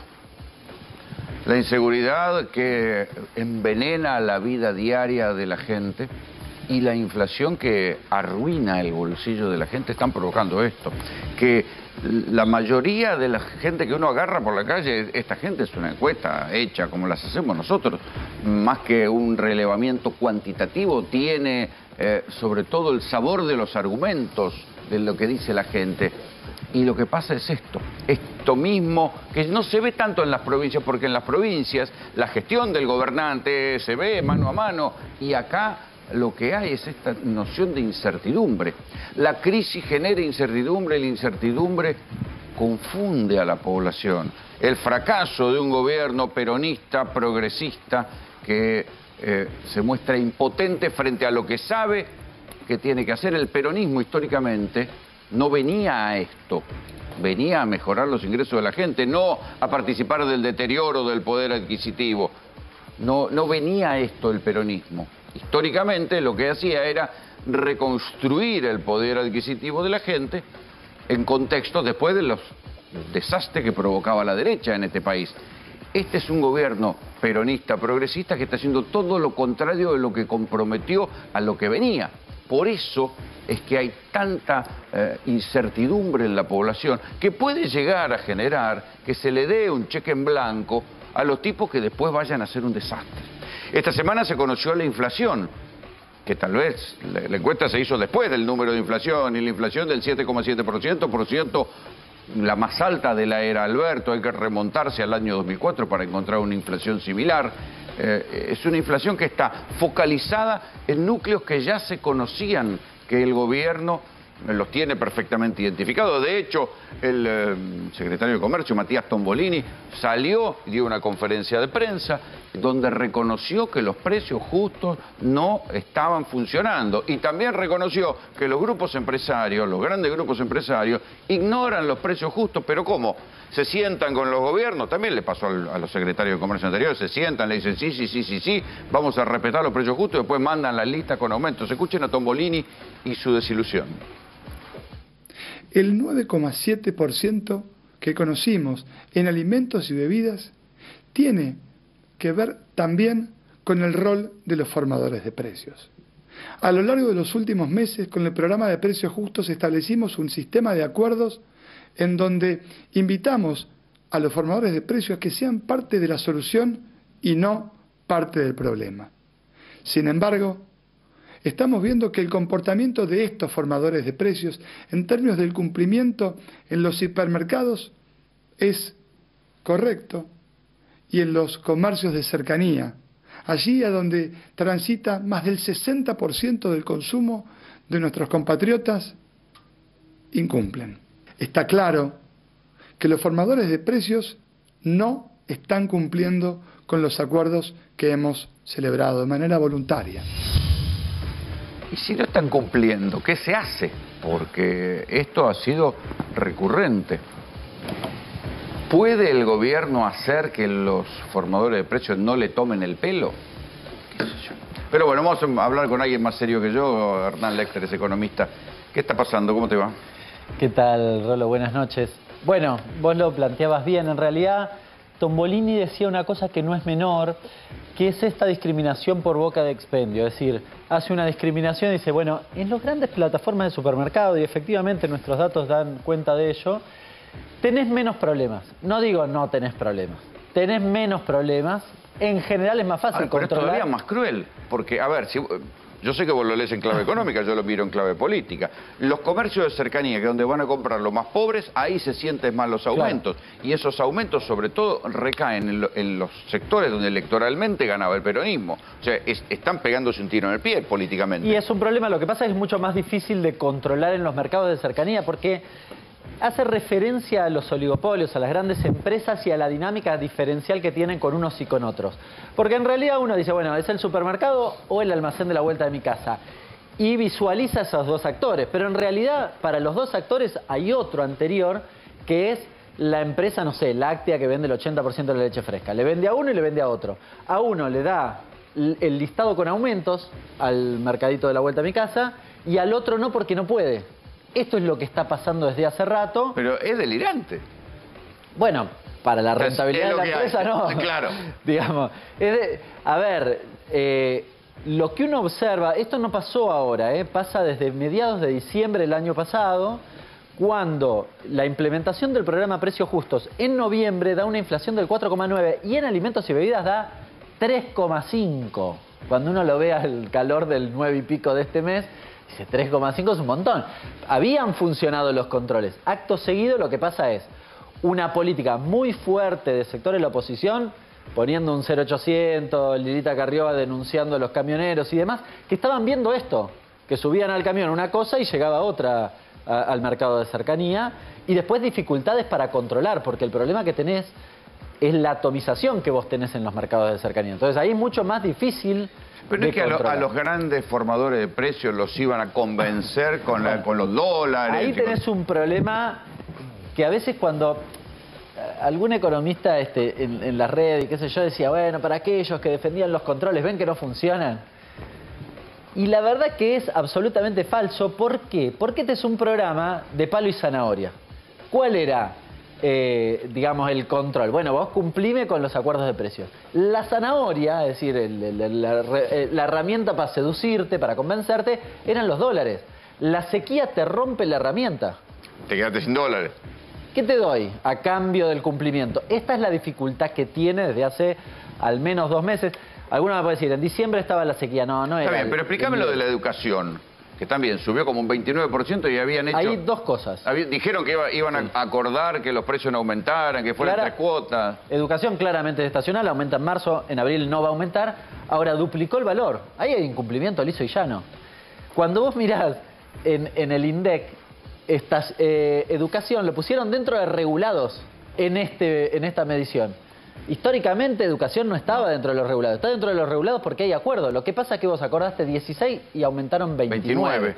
Con lo cual ahí hay dos cosas, hay estacionalidad, pero hay incumplimiento también del acuerdo de precios. En el marco de, digamos, de una serie de cuestiones, porque ahí si vos ves la placa, ves que por Yo segundo... entiendo esto que por la sequía, la carne, los huevos, los pollos, la gripe aviar. La carne no tanto, porque la carne se da una paradoja bastante interesante para analizar, no quiero ponerme técnico, pero la sequía hace que haya más oferta. El precio debería bajar, no subir. Acá tenés, mirá el aumento. Vos decís, bueno, fíjate a finales, ahí tenés mensual, ¿no? A finales del año pasado se ameseta. Sí, claro, bueno, es la sequía. Claro, ¿qué pasa con la sequía? Vos no tenés para pastar, entonces Manda. llevas al animal a faenar y entonces hay más oferta y cuando hay más oferta baja el precio. Ahora, lo que hace suponer es que en febrero y marzo no pasó eso, pasó lo contrario, tenías menos oferta, no, falso. Enero, febrero y marzo es récord de oferta. Y entonces... O- bueno, hay otras cuestiones que me parece que hay que mirar. Una son las importaciones. A mí me preocupa un poco el dólar agro en ese aspecto, porque uno de los problemas que tenés es que China te pide, te pide, te pide, te pide y te hace subir el precio, además de la subfacturación. Con lo cual ahí tenés un problema, tenés otro problema que es que... pero todos esos controles, tenés ministerios, tenés la FIP, tenés montones de cosas para regular y para estar sobre eso. Bueno, yo en esa conferencia que vos mencionabas, eh, el secretario de Comercio dijo vamos a ajustar los controles, me parece correcto. Eh, el mercado de Hacienda, que estaba en Liniers, ahora está en Cañuelas, es medio un viva la pepa. Si no, hay, no es un mercado de oferta y demanda, hay cinco tipos que ponen el precio. Entonces, bien, es un pro- es- era un mercado que era público, pasó a ser privado. ¿Y quiénes son los privados dueños del mercado? Los propios consignatarios. Entonces tenés que ponerle un control. Me parece que es importante ajustar. O por lo menos garantizar oferta y demanda. Es que no está funcionando, la oferta está. Es decir, no está funcionando por oferta y demanda. Hay alguien que viene, y créeme, que viene un consignatario y un día vende a 400 pesos el kilo vivo y al día siguiente a 500. Sin ninguna razón de por medio. No pasó nada entre el jueves y el viernes. Nada. Y hacen eso. Entonces, bueno, Mm. y de transparente de la ropa. ¿Por qué la ropa sigue siendo, siempre está 20 puntos arriba de la inflación promedio? Ahí tenés problemas estructurales. La Argentina en los últimos años ha perdido su entramado textil, con lo Está cual... pero este, es mucho más barato. Después- La ropa en Brasil, el control, el costo de vida es más caro en Brasil, la ropa es más barata. Sí, no, y después tenés avivada en el medio, ¿eh? yo lo digo sin tapujos. Hay algunos, porque cuando uno dice aumentó 120% interanual, es decir, casi 15 puntos por encima de la inflación, eh, no todos los eslabones les pasó eso. Los salarios no aumentaron 120%, este, varios de los actores de la cadena pueden mostrar que no aumentaron en ese nivel y algunos otros por encima.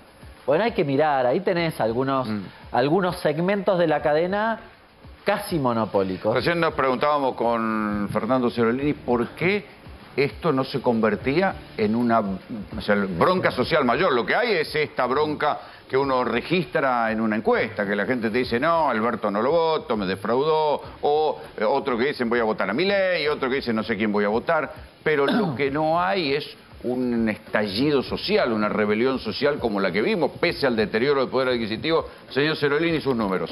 Sí, bueno, eh, creo que están las placas, a ver si las, las podemos ver.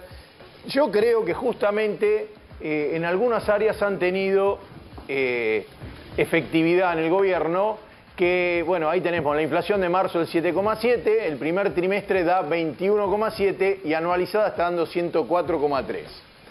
Ahí tenemos educación, subió el Esto es lo que decíamos. 29,1%, una locura. Vestimenta y calzado 9,4, alimentos y bebidas no alcohólicas 9,3. Esto estamos hablando que es una- un aumento muy por encima del promedio. Ahora, ¿qué pasa? La, la, eh, La el aumento jubilación. de la, de la jubilación mínima más el bono, que ellos, el gobierno pensaba que era una recuperación de varios puntos de la caída que había tenido durante el gobierno de Macri, fue un aumento importante, porque dieron en diciembre, cuando, cuando eh, si usted se acuerda, Massa en diciembre decía que pensaba que iba a haber una inflación del 4% en abril, menor al 4%, y tiene casi el doble. Claro, o sea, con esa, lo que iba a ser recomposición terminó siendo apenita la inflación. Apenitas un 1% por encima de la inflación. Es decir, que la jubilación mínima tiene, si usted suma este bono que se da por cada tres, que los tres meses, más la jubilación, que es 58.665, da que el aumento fue del 22.5. Y ese trimestre, la inflación ahora acumulada da, eh, digamos, 21.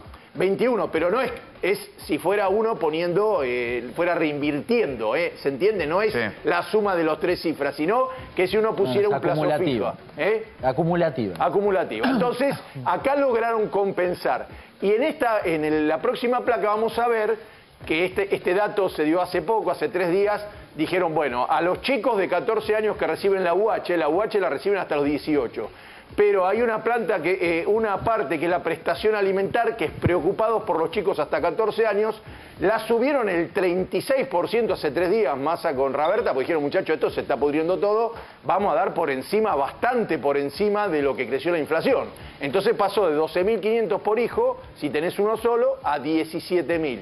Y de 19.000 a 26.000 si tenés dos, y si tenés tres hijos, de 25.000 a 34. Te compensa. Por eso, la, eh, la indigencia, fíjese usted, en- del primer semestre al segundo semestre, cuando la, eh, la pobreza subió la creció la del indigencia. 36,5 al 39,2, la indigencia bajó de 8,1, de 8,2 a 8,1. Es decir, el decil más bajo, la gente más castigada, es la que está siendo más protegida. El sector Sí, no medio... es que la pasan bien. No es que la pasan bien, pero no la pasan más mal que lo que la estaban pasando antes. En cambio hay un montón de sectores, de, de gente del sector medio que está cayendo en la pobreza aún teniendo trabajo. Que acá una de las cosas que compensa es que hubo crecimiento y trabajo. ¿Qué lectura política haces de esto?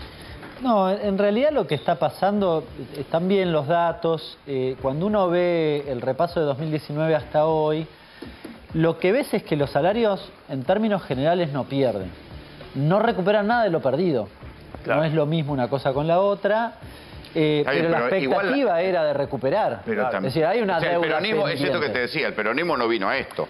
Hay una deuda pendiente, está claro que hay una deuda pendiente, pero también vos decías, ¿por qué no hay un estallido? Bueno, porque no estás mucho peor. Mira, cuando vos ves las paritarias, las paritarias logran, incluso con inflaciones elevadas como has tenido en los últimos meses, el, al mes siguiente recuperar lo perdido. sí. Es decir, esta es una dinámica característica. Vos podrías decir, che, con Está bien, pero vos tenés una parte de la población informal que Es está jodida. monotributista que no va a No. ninguna paritaria, claro. Más o menos, por lo que él decía, la tarjeta alimentaria en buena medida le llega a esa parte de la población. Pensá que la tarjeta alimentaria es complementaria de la UH, que no tenés que tener trabajo registrado. Así que un ingreso tenés. Cuando subiste el salario mínimo, que de hecho el salario mínimo aumenta en los próximos tres meses, el, el potencial trabajo está atado a eso. Es decir, de nuevo, lo que decías vos, no es que están viviendo bien. Lo que está pasando es que a pesar de la inflación elevada, no hay un deterioro como el que podrías No, imaginar no, por eso, por eso el gobierno, 7-7. el gobierno está siendo muy prudente y Ahora- protegiendo abajo y a sectores bajos eh, y medios bajos. Hay un sector medio que es el que tiene un ahorrito que lo tiene que poner Claro. inclusive para... Ahora hay dos, dos deudas pendientes ahí. Primero, no recuperás nada de lo perdido. Y segundo, eso se agrava por otra situación, que es que la actividad económica, recién daba los datos de pobreza, los datos de pobreza eran similares a los del segundo semestre de 2017. Ahora, la actividad estaba acá, la actividad cayó, volvió al mismo nivel y la, y la pobreza este, se mantuvo alta. Con lo cual, vos tuviste... Es más injusto. Hay un problema de no, Es una, de- eh, pará, no es se una- distribuye. una redistribución, o sea, exacto, es un país más injusto en su distribución. La- el crecimiento económico post pandemia Está concentrado. se concentró en pocas manos. Hoy me pasaban los datos de los balances del 2022 que salieron publicados en la CNB del, del trimestre a finales del año pasado, de las empresas que cerraron a finales del año pasado, y lo que ves es ganancia superlativa.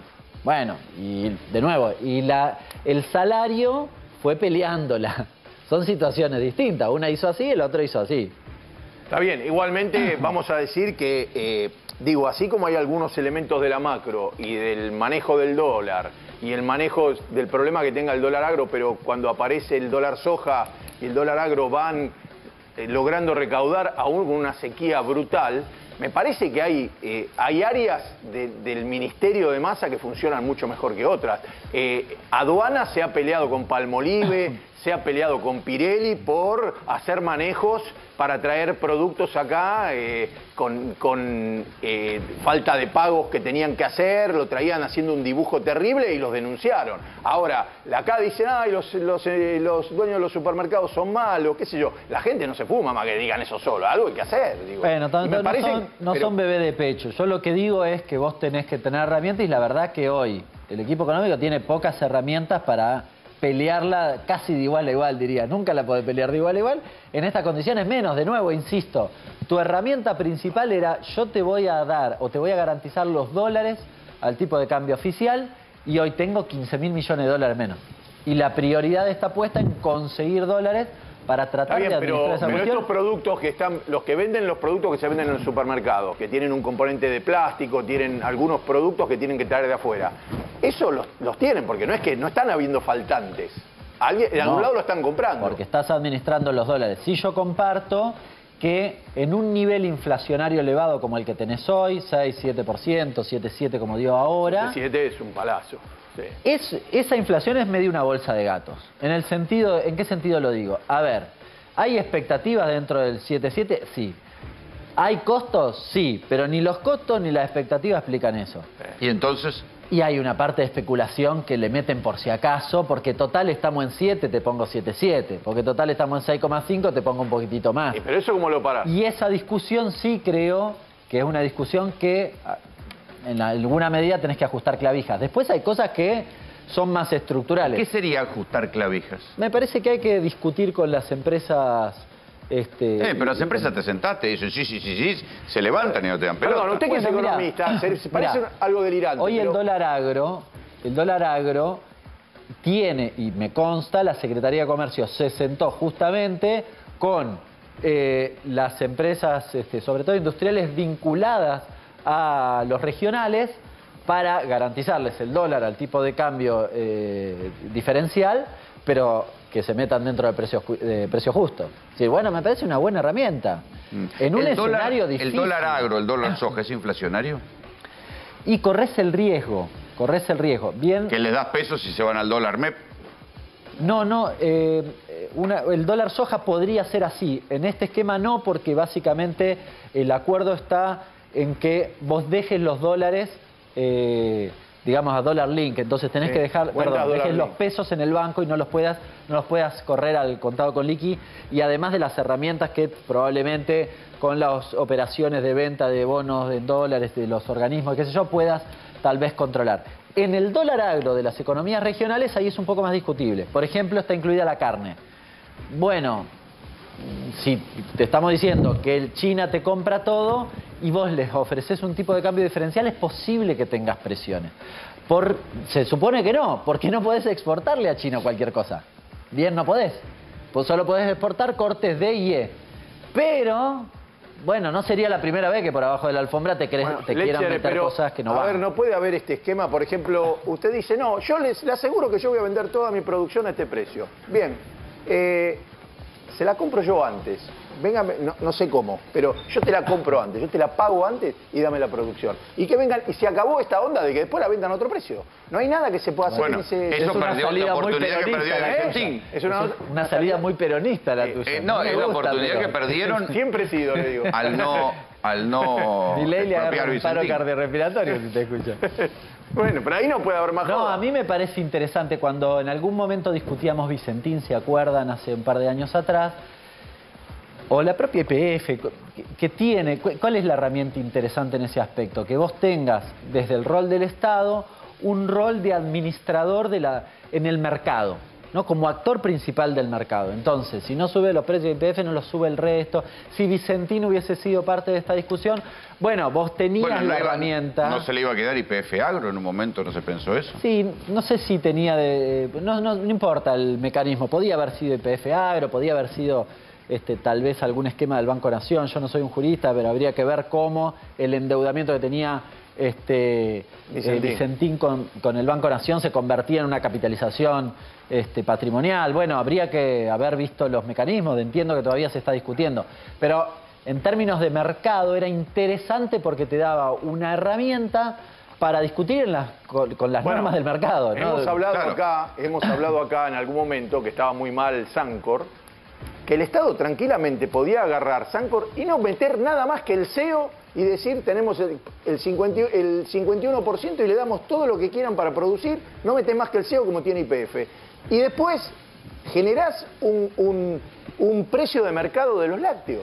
Sí, no es sencillo. A ver. No, no es la- nada es sencillo, la porque 7,7 recuperación tampoco es sencillo. De IPF este, en el 2012 significó eh, la sentencia que acaba de eh, publicar Loreta Presca en Estados Unidos, que dice que le debemos a los accionistas minoritarios desde el Estado, no ya desde la compañía, pero sí desde el Estado, 8 mil millones de Yo dólares. no a estoy 18 diciendo de, pero eso es distinto. Acá no está usted, eh, y eh, justamente Sancor estaba pidiendo un salvataje. No es que está agarrando una empresa Bueno, que usted la. o ponés la plata o, digamos, en algún mecanismo tenés que tener la plata. Bueno, sí, yo igual, plata. en términos de, de estrategia de mercado, lo comparto. ¿eh? Me parece que, que es interesante porque soy una persona que cree que el Estado tiene que intervenir en la economía. De nuevo, hay otras bibliotecas que dicen que no, que es una locura y que eso afecta. A mí me parece interesante y creo que es una herramienta de regulación más sofisticada que la de estar controlando Claro, todo el que tiempo. controlar los precios. Claro, es lo que Sí, podría. definitivamente. ¿Ves riesgos de una crisis o de un golpe de mercado? Eh, no, la verdad, a ver, lo que yo veo es que hay eh, mucha conciencia del problema en el que estamos este, metidos. Escucho voces todo el tiempo diciendo, resolvamos esto con una devaluación que es de una ingenuidad supina, si no hay intereses detrás, porque la verdad, vos, eh, si mirás el tipo de cambio real multilateral en la Argentina, que es el tipo de cambio ponderado por los socios comerciales, estás igual que después de la devaluación de Pratgay. Con lo cual, puede decir que estás apreciado. Podrías estar un poco más, sí, bueno. Pero no estás apreciado sensiblemente, es decir, no tenés un problema de- con eso, tenés un problema que te faltan dólares para las, las, este, la demanda que tenés. Nosotros hicimos un informe con CEPA de dónde se fueron los 50 mil millones de dólares que, eh, reci- que tuviste de balanza comercial como saldo positivo Sí. entre 2019 y A pagar deuda 2022. privada. La mitad fue a intereses de deuda, público y privado. Es decir, tenés una economía que está mucho, demasiado endeudada en dólares para lo que, los dólares que genera. Pero eso fue un error político grave, dejar ir esas reservas. Pero, Tantas. eh, sí, el, el nivel de endeudamiento del privado, no, honestamente, no es de esta gestión, es reciente, si querés. La parte de esta gestión es la parte cuando no tiene dólares y les dice endeúdense ustedes para importar. Claro. Pero el grueso es de la etapa 2016-2019, no del gobierno actual. Es decir, vos entrás en, en, este, en esta gestión súper endeudado. En- en- a nivel público, insisto, y, a nivel privado. Eh, de nuevo, de los 50.000, 25.000 se fueron en intereses de deuda. Espera un cachito porque nos vamos a Neuquén porque hubo elecciones en Neuquén. Sebastián Silenzi está en contacto con nosotros. Sebastián, ¿me escuchás? Sí, te escucho, Rolando. Bueno, contame, ¿cómo están los números? Bueno, ya casi sobre el final de las mesas procesadas, 1.636 mesas de 1.663, el 98,38% de... Ah, ya está, votos. 98%. No, no, ya está, ya esto, como decíamos, ya es irreversible, ya, eh, de hecho, hace minutos nada más, eh, Marcos Corman, el candidato del Movimiento Popular Neuquino, en conferencia de prensa, obviamente reconociendo la derrota y hablando también del futuro de su partido, que como decíamos, desde el año 62 es gobierno aquí en la provincia de Neuquén. Los porcentajes hasta acá, 35,61% de parte, o sea que se lo lleva Rolando Figueroa, y el 32, no, perdón, 33,08 se lo estaría llevando el Movimiento Popular Neuquino. En una elección bastante pobre, el Frente de Todos Neuquén, 12,74%. Obviamente las propuestas políticas, tanto del Frente de Todos como de Juntos por el Cambio, no alcanzaron para no polarizar esto. Claro, porque también el Juntos por el Cambio oficial estuvo por abajo todavía del frente de todos y hasta del candidato de Milei. Pero hay que decir, y contábamos recién, que tanto Rodríguez Larreta como Macri festejaron el triunfo de Rolando Figueroa porque iban ahí en la boleta, prendidos. A, a ver, Rolando, uno haciendo una rápida lectura de esto, evidentemente esta elección va a servir para no solamente para la interna de Juntos por el Cambio a nivel nacional, sino también el Frente de Todos. Esto es una realidad. Eh, acá lo que hay que ver también es cómo se traduce después eh, esta elección eh, para los neuquinos. ¿Qué va a pasar? ¿Qué va a pasar? Porque hay un enfrentamiento enorme. A ver, te voy a contar un panorama. En este momento hay un búnker chiquito donde Rolando Figueroa en minutos va a estar llegando, pero automáticamente que se supo que la, la- la- o sea, que los votos eran irreversibles, que ganaba la elección, fueron y armaron un escenario frente a la Casa de Gobierno. Los festejos van a ser frente a la Casa de Gobierno, así que hay que hacer una lectura política. Aquí también se está, se está sumando Patricia Bullrich a los festejos con- vía Twitter. Ninguno quiso ir para allá a sacarse la foto, pero ahora, como perdió el MPN, todos se, se agregan. Ahí está. Felicitaciones al PRO de Neuquén por acompañar la lista de Rolo Figueroa, nuevo gobernador de la provincia, y a todos aquellos que resultaron electos por nuestro partido. Esto es lo interesante. O sea, apoyan la colectora. O sea, Rolo Figueroa tenía varias colectoras, había una del PRO. Exacto. Los radicales no estuvieron. No, los radicales eh, se fueron, por lo menos con el sello, para el otro lado, que fueron los que permitieron, eh, en una puja casi, o sea, judicial, no casi judicial, de mantener el nombre Juntos por el Cambio eh, con la candidatura de Pablo Servi. Claro, claro. Bueno, así que definida entonces la elección en Neuquén. Rolo Figueroa es el nuevo gobernador. Vamos a estar atentos a ver si habla. Sebastián, gracias por el contacto. Un abrazo grande, a disposición. Y mientras tanto seguimos atentamente lo que pasa en las elecciones de Río Negro. ¿Qué dice la máquina, muchachos? ¿Se No, ver, actualizó? Llamativo esto. Eh, eh, hay algo extraño que está sucediendo con el tema de la información, Rolando, porque hay portales que dan con una- un porcentaje de 34% de los votos ganadores. a Bereltinec, pero la página del Juzgado Provincial Electoral dice esto, con la última actualización que tiene eh, 23,16% de las mesas escrutadas, lo tiene Beretilnec con 26,12%, ganando la elección, pero lo- y, lo- y Tortorielo con 24,69%, están ahí, o sea, están palo a palo disputándose la elección. No sé de dónde salen las cifras que están publicando algunos portales de 33-34%. A ver, vamos, vamos a tomar contacto con Carla Chiarandini porque seguimos en el enigma. ¿Qué está pasando, Carla? ¿Cómo andas, Rolando? Sí, está... Hay muchas fuentes que están comunicando diferentes. eh, es verdad lo que decían recién. Acá, mira, las- la última actualización dice que Alberto Bretignic tiene 22.963 votos y Aníbal Tortorielo 16, eh, 16.484. No, pero le faltan 4.000 Esos serían cargados que datos. tiene, que tiene según lo que dice el Juzgado Provincial Electoral. Por eso te digo, hay una Sí, desinformación, sí. una confusión rara. esto. Y, y sí, igual ten- tengo otros datos, igual estos son provinciales, ¿no? Y son, eh, a ver, 39,1 Bretignac, 24,50 Tortorielo. Claro. Mm. ¿Esos datos de dónde datos salen? oficiales que me llegan.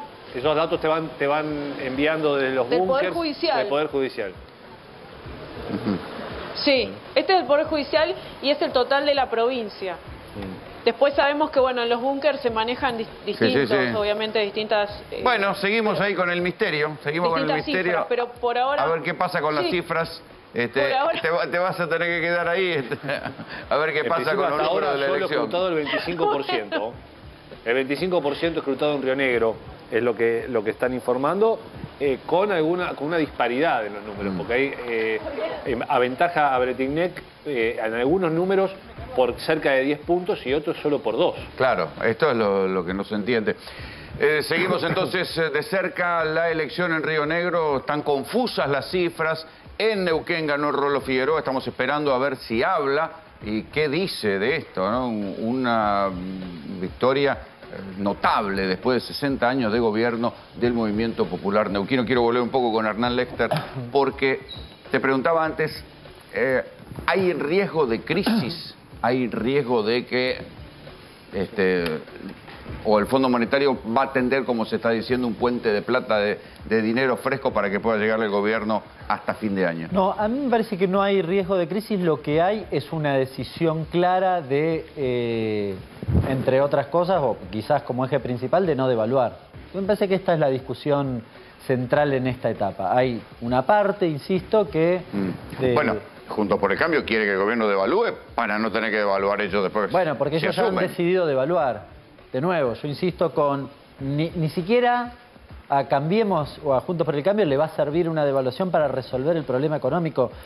E- eventualmente lo quieren hacer para reducir el, este, el endeudamiento en pesos, pero igual no les va a resolver el problema económico porque no es un problema de apreciación Claro, no, genera dólares eso, el devaluar Con solo lo cual no genera tenés dólares. otro problema. decir- Devaluar no genera dólares. Claro, no genera No, dólares. en el corto plazo no, quizás en el mediano plazo las exportaciones podrían llegar a activarse, pero de nuevo, siempre y cuando vos estuvieses demasiado apreciado y ese escenario de apreciación te estuviese complicando las exportaciones, cosa que no sucede, con lo cual no va a resolver, va a ser percha la actividad, va a empobrecernos a todos y todas un poco más y nada más. Y además con el nivel de inflación que tenés, si no se te espiraliza en tres meses se te comió el ¿Por qué? beneficio de la devaluación. ¿Por qué se da esta cuestión que es la cosa contradictoria que uno ve en la calle? Es decir, bueno, la inflación genera que la guita valga menos, pero vos ves muchos lugares de consumo repletos. No, eh, quizás el nivel, es un debate interesante que no está saldado, pero quizás el nivel inflacionario hace que la propensión marginal al consumo sea mayor. Es decir, es que yo tienda a gastar la plata más rápido. Antes de ayer una persona me dice, no, fui y agarré los pesos y me compré un viaje a Brasil. Bien, decir, gasta o trata de gastar en algo, y se lo pensé y digo, no le doy más vuelta, pum, voy". Trata de gastar en algo porque finalmente siente que si se lo guarda va a perder valor. Entonces, Muchos dicen que va a venir una recesión, que la, la inflación va a terminar trayendo una recesión y va a provocar que Alberto se vaya como Macri, con La inflación alta y va- caída de la actividad económica. La recesión, técnicamente, lo, lo más probable es que no suceda porque el dato de febrero es positivo en términos de actividad, pero es cierto que en este año Yo diría que es prácticamente imposible que vos crezcas ¿Va a económicamente. crecer muy poquito o se va a caer muy poquito? No, no, lo más probable es que tienda levemente a la baja, pero porque no tenés dólares, no porque Hernán. por el problema inflacionario. Perdón, Esto viene quiero- sucediendo desde mediados del año pasado. Si vos ves la actividad, está planchado. Lo que pasa es que hay otros indicadores que dicen, por ejemplo, el empleo sigue creciendo a la par de eso. Pero bueno, Hernán, pero tenés pregunta- niveles de inflación alto con actividad levemente tendiendo a la baja. La pregunta sería, si vos, yo me parece que sí, que la macro en sí la tienen bastante ordenada y no es tan fácil que tengan una corrida y una devaluación. Ahora, el que gane no va a ganar por mucho, el gobierno que gane, así sea el Frente de Todos, si llegara a ganar, va a ganar igual o más ajustado lo que lo que ganó antes. ¿En qué momento se acomoda? Porque a veces te dicen no tenés poder político. En la próxima elección tampoco vas a tener poder político, porque no vas a tener, no tenés poder para cambiar ni los jueces ni nada. ¿Dónde se acomoda? Que, ¿Cómo acomodás este, esta brecha cambiaria del 100%? A ver, me parece que el eje principal en materia económica, estrictamente, en el resto me excede un poco, pero en materia económica vos tenés que rediscutir con el Fondo Monetario Internacional. Una de las cosas que implica el acuerdo con el fondo es que vos no puedas disputar contra la inflación con tarifas, con tipo de cambio, con tasa de interés. Lo próximo que va a pasar va a subir la tasa. El jueves va a subir la tasa. Bueno, con lo cual tenés un- el acuerdo es inflacionario, sí, claro. Este gobierno lo puede discutir. A mí me parece que puede discutir algunas cuestiones este, correctamente para que el- este Fondo Monetario que se hace tan el exquisito ahora y que fue tan generoso con Macri en la primera revisión se dé cuenta que la sequía es una bomba neutrónica en la economía argentina. Ahora, ¿hay que volver a discutir el acuerdo? Hay que volver a discutirlo. Es imposible la actividad económica o la economía argentina con este acuerdo. Nos vamos a ir a la pausa, enseguida volvemos, ya está aquí el señor Raúl Timerman y vamos a seguir hablando de esto. Hay que discutir el acuerdo con el fondo, ¿se puede? Yo no sé si se puede. Y después le quiero preguntar a Lester, ¿qué opina del auge de Milei? Es una buena Divertido, pregunta. Después de la pausa. Sí, sí, enseguida volvemos.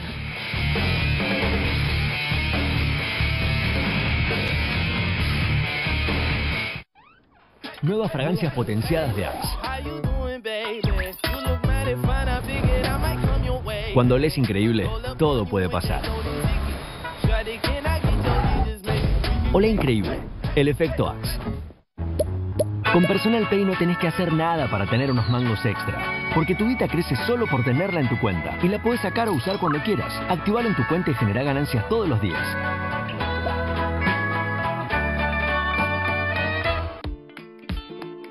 El mosquito que transmite el dengue se cría en recipientes que puedan acumular agua. Para prevenirlo, elimina, da vuelta o tapabaldes, latas, botellas y neumáticos que no uses y que puedan acumular agua. Lava el bebedero de tu mascota todos los días. Destapa las canaletas, rejillas y desagües de lluvia. Rellena con arena los portamacetas. Desmaleza jardines y patios. Que el mosquito no se críe en tu casa. Evita que se reproduzca. Más información en argentina.gov.ar. Ministerio de Salud. Argentina Presidencia. En Carrefour tenés 7 días de ofertas. Hasta el lunes, 70% de descuento en la segunda unidad en marcas de jugos, chocolatadas y suavizantes. Con mi Carrefour, 50% de descuento en la segunda unidad en marcas de queso crema y yogures. Además, roast beef de novillo a 1.249 pesos por kilo. Compra también en carrefour.com.ar. Llegó Betson a la Argentina, el líder mundial en apuestas deportivas. Jugá, divertite y ganá. Retira y deposita tus ganancias directamente en tu cuenta bancaria. Regístrate ahora en betson.bet.ar y empieza a jugar con los grandes. Betson, tu sitio de apuestas online. A su izquierda, el reintero de contribuciones patronales más importante en la historia de nuestro país.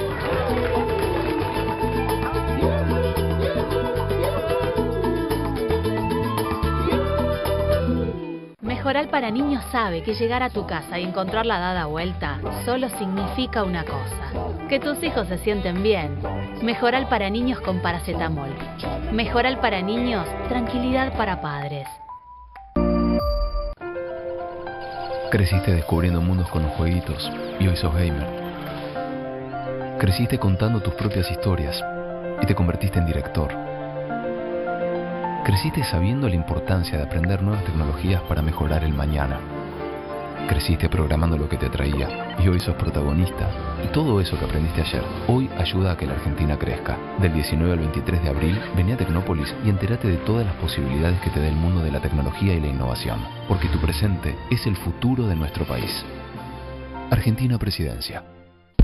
Poliana por la noche, Poliana en la mañana. Jabón de tocador, líquido, shampoo, acondicionador, antitranspirantes y mucho más. Poliana todo el día. Poliana te acompaña. Poliana te acompaña.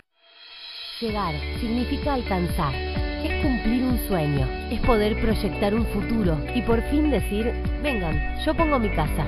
Estamos orgullosos de haber cumplido un nuevo objetivo, entregar la vivienda a 100.000 y seguimos construyendo viviendas en todo el país. La mejor manera de crecer es apoyando los sueños de la gente. Ministerio de Desarrollo Territorial y Hábitat, Argentina Presidencia.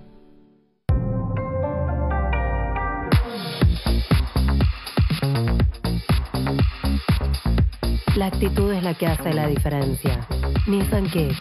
Activa tu actitud.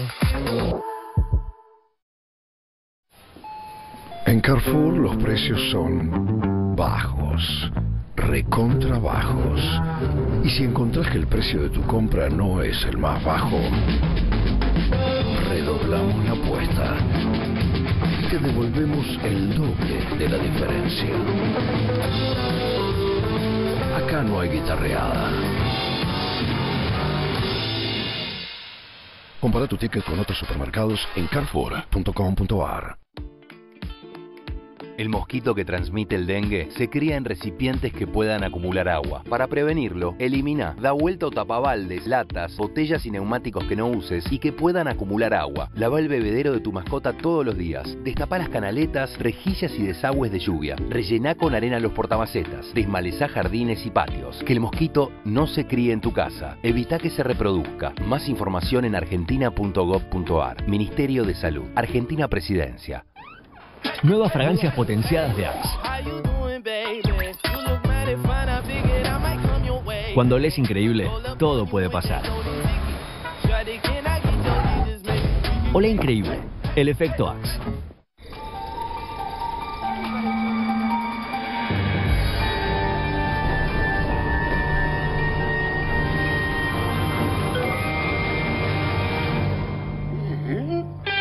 Modo discreto, mira tu home banking sin miedo desde la app de BBVA. Tus datos se ocultan cuando tenés a alguien detrás tuyo.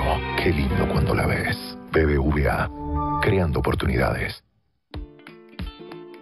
El mosquito que transmite el dengue se cría en recipientes que puedan acumular agua. Para prevenirlo, elimina, da vuelta o tapabaldes, latas, botellas y neumáticos que no uses y que puedan acumular agua. Lava el bebedero de tu mascota todos los días. Destapa las canaletas, rejillas y desagües de lluvia. Rellena con arena los portamacetas. Desmaleza jardines y patios. Que el mosquito no se críe en tu casa. Evita que se reproduzca. Más información en argentina.gov.ar. Ministerio de Salud. Argentina Presidencia.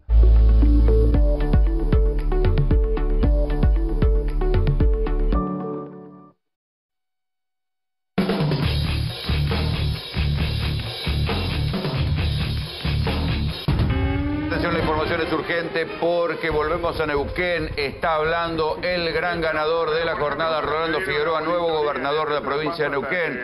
Ganó al movimiento popular neuquino que nunca había perdido una elección en esa provincia. Escuchemos qué dice. Nosotros tenemos una altísima responsabilidad de conducir a la provincia más linda y más importante a nuestro criterio del país, conducirla de la mejor manera para que a los neuquinos nos vaya bien. Para que a los neuquinos nos vaya bien, hay que dejar las cosas que están bien y hay que cambiar todo lo que está mal.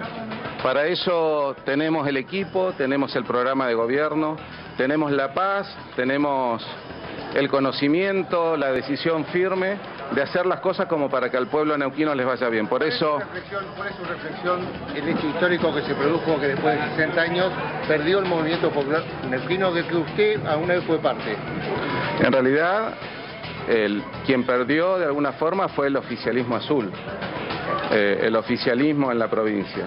Lo que nosotros vemos sí que acá ganamos todos los neuquinos porque hemos elegido libremente, sin miedo, hemos dado, yo creo que una manifestación para poder llevar hacia adelante las posibilidades que tiene esta provincia de poder crecer de quizá de otra manera, ¿no? Muchos están acostumbrados a hablar de, de derrame, lo que fuere, nosotros no queremos derrame. Nosotros queremos que los neuquinos tengan el plato principal en nuestra provincia, y, pero para esto creo que debemos llamar absolutamente a todos los neuquinos a que entre todos pongamos el hombro para hacer grande nuestra provincia. Necesitamos... Figueroa, Figueroa, ¿cómo ve, ¿cómo ve la transición estos nueve meses? ¿Cómo ve la transición estos nueve meses? Lo mostraban, inclusive los boca de urna todo el día lo mostraban perdedor. Cinco o seis puntos arriba el candidato oficialista. ¿Usted dudó en algún momento de que el resultado iba a ser este? No, yo soy muy respetuoso de los números. Nosotros teníamos nuestras encuestas que marcaron en definitiva lo que terminó. Bueno, ahí está hablando el eh, ganador de la elección. Quiero escuchar a Raúl Timerman, tu análisis sobre esto. Bueno, gracias, Rolando. Eh, tuvo Lalo Figueroa tuvo una virtud. En ningún momento nacionalizó la elección. No te olvides que el movimiento popular neuquino, al cual él pertenecía hasta antes de esta elección, es un movimiento provincial que nunca jugó abiertamente en lo nacional. Eh, él dijo la única posibilidad que tenemos acá es ampliando la base de sustentación. Hizo nueve colectoras en la que estaban prácticamente todos los partidos políticos. Ah, por eso Macri, Larreta y Bullrich festejan. Pero tienen un 4% de las acciones. 4% de... Ah, mirá. Sí, y la verdad que no creo que a Figueroa le, le cause mucha gracia el festejo porque en ningún momento quiso nacionalizar la elección y quiso pegarse a ningún partido político y nunca habló del tema de la grieta. La grieta para él era una cosa inexistente en la elección interna. Tal es así que tenía una lista, Avanzar Neuquén, que llevaba a la nieta de Santiago, de mm, Antonio Cafiero, prima hermana de Santi Cafiero, que iba con una agrupación peronista descamisados. Eso te da un poco... Están adentro de la coalición de Rolo Están Figueroa. adentro de la coalición. Ah, mirá. ¿Eh? Y el Frente Grande. Frente Grande, el. Partido Socialista, la Asociación de Cooperativas y en un sector del PRO también, es verdad que un sector del PRO, hubo otro que se quedó afuera, hubo una lista de Juntos por el Cambio que se quedó afuera, hubo dos listas de él, de Lalo Figueroa, este, pero bueno, las dos listas de él fueron las que más votos sacaron y los demás sacaron entre dos y cuatro puntos cada uno, pero eran nueve en total. La verdad que sigue la línea de que no va a haber influencia de las elecciones provinciales en el resultado de la elección nacional. Se juegan Son dos elecciones diferentes. Bueno, en Río Negro está pasando lo mismo. Ah, queremos aclarar que la confusión que teníamos de los, eh, los números en Río Negro es porque estábamos no, no estábamos sumando una segunda lista colectora. Alberto Beretilé que está ganando por una diferencia amplia porque había otra lista que nosotros no estábamos sumando. Por eso la divergencia. De, a ver ahora si podemos, ¿cuál, es el- cuál sería el número correcto? Ahora son 35 puntos para ver el TICNEC, sumando la lista 431 y la 427 que tiene 9,12% Claro, ahí está. de los votos. ahí está la gran diferencia. Ahí está la diferencia. En Río Negro está ganando el eh, exgobernador Alberto Bretilnec, que venía de un periodo donde había gobernado Arabela Carreras, que terminó peleada con Bretilnec, que se volvió, este, o sea, que no fue candidata, que se volvió. Hubo mucha, mucha crítica al oficialismo, con lo cual no puede decir que está- en los dos lugares están ganando quienes tomaron distancia del oficialismo. Sí, eh, quiero aclarar algo más respecto a lo de Neuquén. El PJ salió tercero con posiblemente la peor elección de su vida. 12 puntos. Hubo sectores amplios del PJ que querían formar la décima eh, lista apoyando a Figueroa, pero bueno, desde la conducción nacional se opusieron. La segunda candidata a diputado que entró, el PJ metió tres. La candidata, el primero fue Darío Martínez, segundo es la hija de Oscar Parrilli. O sea que ese sector no quiso saber nada. No quiso. Darío Martínez creo que sí, pero bueno, Parrilli no Está quiso. o- igual tengamos en cuenta que es la provincia que tiene la joya económica de la Argentina, que es Vaca Muerta. Así es, así es. Por Porque eso la es- regalía del gas y el petróleo van para la provincia. O sea que... Disparate también, digo, una, una provincia que pese a tener Vaca Muerta, es deficitaria. Sí, pero va a tener, eh, digamos, va a mejorar. Primero tiene buena calidad de vida en términos generales. Con esto, con el programa que tiene Figueroa, va a mejorar muchísimo la calidad de vida, especialmente de la población de menos recursos. Y si no, dura un periodo y nada más. Hernán, ¿cuándo van a sentirse los dólares de vaca muerta en la Argentina? Bueno, el, eh, este año vas a tener una mejora vinculado al gasoducto, que si Dios quiere está previsto para el 20 de junio, te puede resolver en parte eh, evitar gastar dólares en importación. Pero es un número relativamente menor, mil, mil quinientos millones de dólares, no estás hablando de mucho más dinero para este año. El, el negocio, digamos, está relacionado con la posibilidad de exportación. Ahí IPF viene hablando con Petronas y acordando con Petronas, este, porque básicamente IPF, eh, perdón, eh, Vaca Muerta tiene gas y petróleo y el gas para exportarlo necesitas una planta de licuefacción y es cara, digamos, básicamente. Estamos hablando de, digamos, para que madure entre 5 y 10 años. Te preguntaba antes, ¿qué pensás de mi ley candidato? Creo que es el emergente de la, digamos, de la bronca que hay en la sociedad por no resolverle los problemas. Me Está bien, pero es económicamente, ¿es, No creo que... ¿es viable algo lo que él dice No. que se puede hacer? No, no creo que, que, digamos, sus argumentos económicos sean los que seduzcan a su base, a sus votantes, digamos, ¿no? Hace unos días una consultora que se llama 1816 publicó un informe sobre la dolarización a raíz de la propuesta del propio Milei y confirma algo que decíamos en infinidad de oportunidades, que si querés dolarizar la economía hoy, básicamente la devaluación es del 50, de- digamos, el peso va a valer la mitad de lo que vale hoy, con lo cual la erosión del salario para arrancar con una este, con una eh, dolarización de la economía argentina es fenomenal, es de arriba de 20 puntos. Sí, Pero también hay que decir que hay una nostalgia de la convertibilidad, ¿no? Porque mi ley en la práctica lo, lo que reivindica es eso, es una nostalgia de un ancla que frene la inflación.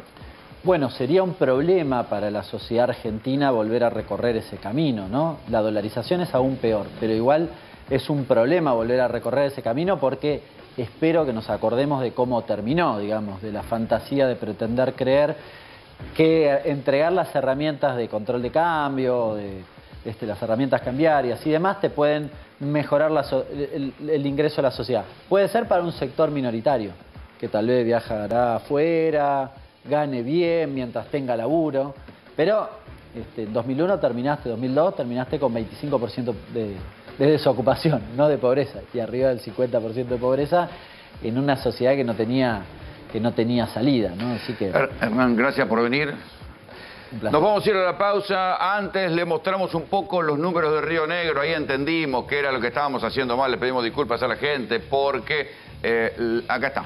Este era nuestro error. Esta es la lista de Beretilnec, 26,4. ¿sí? Pero acá abajo había otra lista de Beretilnec con el 9,14. Por eso es que la suma de las dos listas le está dando al ex gobernador de Río Negro también la victoria en la provincia de Río Negro. Enseguida volvemos.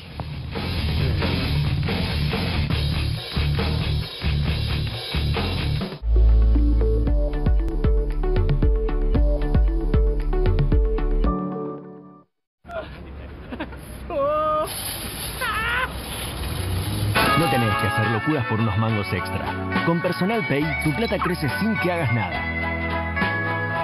Activalo y genera ganancias todos los días. En Argentina implementamos una hora más de clase en las escuelas primarias del país. El que sepa que educar es la respuesta para lograr una sociedad con igualdad, que levante la mano.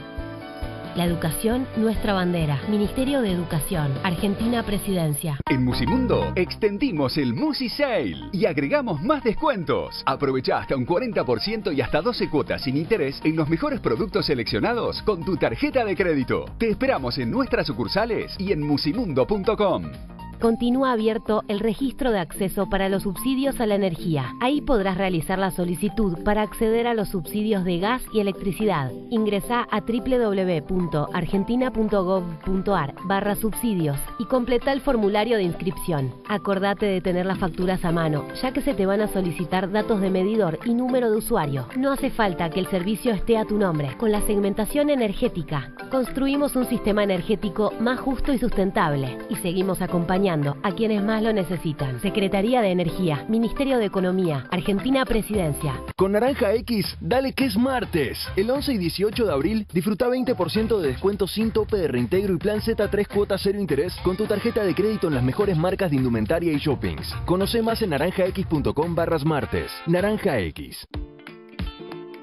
El mosquito que transmite el dengue se cría en recipientes que puedan acumular agua. Para prevenirlo, elimina, da vuelta o tapa baldes, latas, botellas y neumáticos que no uses y que puedan acumular agua. Lava el bebedero de tu mascota todos los días. Destapa las canaletas, rejillas y desagües de lluvia. Rellena con arena los portamacetas. Desmaleza jardines y patios. Que el mosquito no se críe en tu casa. Evita que se reproduzca. Más información en argentina.gov.ar. Ministerio de Salud. Argentina Presidencia.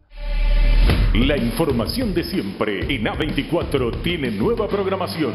A las 6, BDA, periodismo de excelencia para arrancar tu día con Antonio Laje. A las 9.30, Andino y las noticias, experiencia y compromiso con la información. A las 12, Maxi Mediodía. Maxi Montenegro analiza la economía con objetividad y sin grietas. A las 13.30, Vivo al Día, con Eduardo Bataglia, abre una ventana en tiempo real a las noticias. A las 15, estreno ¿Qué hay que hacer? Soledad Largui te trae las noticias del día y las entrevistas necesarias. A las 16.30, ¿quién? ¿Cuándo? ¿Dónde? Martín Candalá comparte con vos cada una de sus investigaciones. A las 18, para que sepas, Marcela Pagano y todo el análisis de la información para que decidas mejor. A las 19.30, el noticiero de A24. Noticias e investigaciones esclarecedoras con Facundo Pastor. A las 21, La Cruel Verdad con Esteban Trebuch, un periodista con calle que te cuenta la verdad. A las 23, Basta Babi. Babi Echecopar siempre se atreve a decir todo lo que te gustaría decir a vos. Nueva programación para la información de siempre. A24.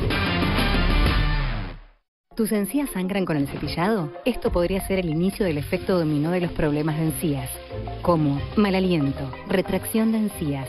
Ayuda a prevenir el efecto dominó de los problemas de encías con Parodontax Complete Protection.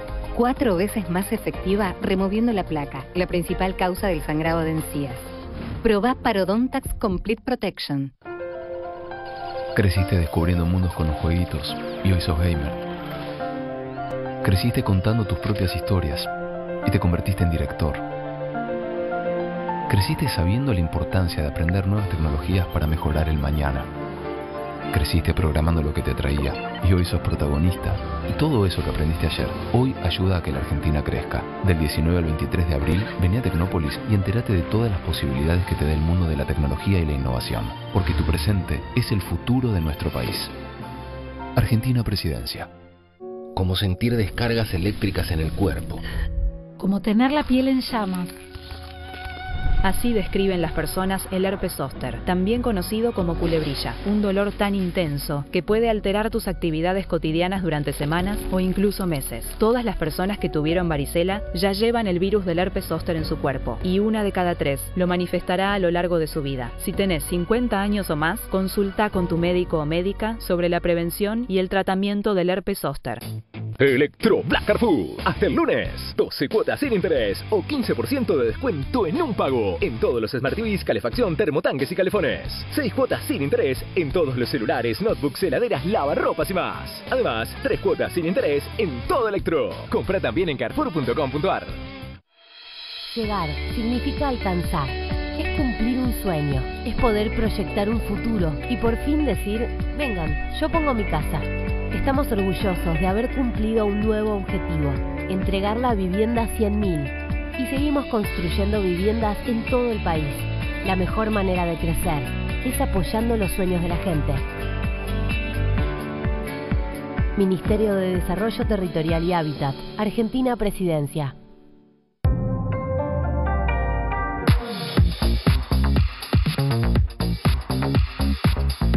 La actitud es la que hace la diferencia.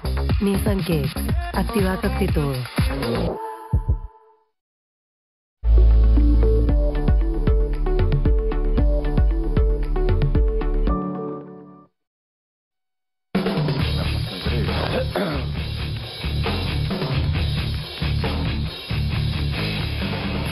Bueno, ya les contábamos que en Neuquén, elección histórica de Rolo Figueroa desplazó al movimiento popular neuquino por primera vez en 60 años. Desde que existe Neuquén como provincia, que dejó de ser territorio nacional, siempre gobernó el movimiento popular neuquino, salvo en tiempos de dictadura. Siempre las elecciones las había ganado el movimiento popular neuquino, las acaba de perder. La lista es una lista heterogénea que va desde sectores del peronismo hasta sectores de Juntos por el Cambio no la hegemoniza ninguno. Ahí se sumaron a los festejos Macri, Patricia Bullrich, Rodríguez Larreta. La verdad que la cuota parte que tienen es muy poquito. Pero mientras tanto sigue la incertidumbre en Río Negro. Ahí está, este es el búnker de Alberto Beretilnec que se perfila para ganar la elección en Río Negro. Nosotros tuvimos una confusión porque veíamos solo una de las listas de Beretilnec, pero tiene dos listas y entonces por eso estábamos dando menos cifra de la que tenía. Los cómputos están hablando de un 35% más o menos del eh, gobernador Beretilnec. El escrutinio viene lento, enseguida se van a conocer las cifras definitivas. Nosotros nos despedimos de América, seguimos en la transmisión por A24.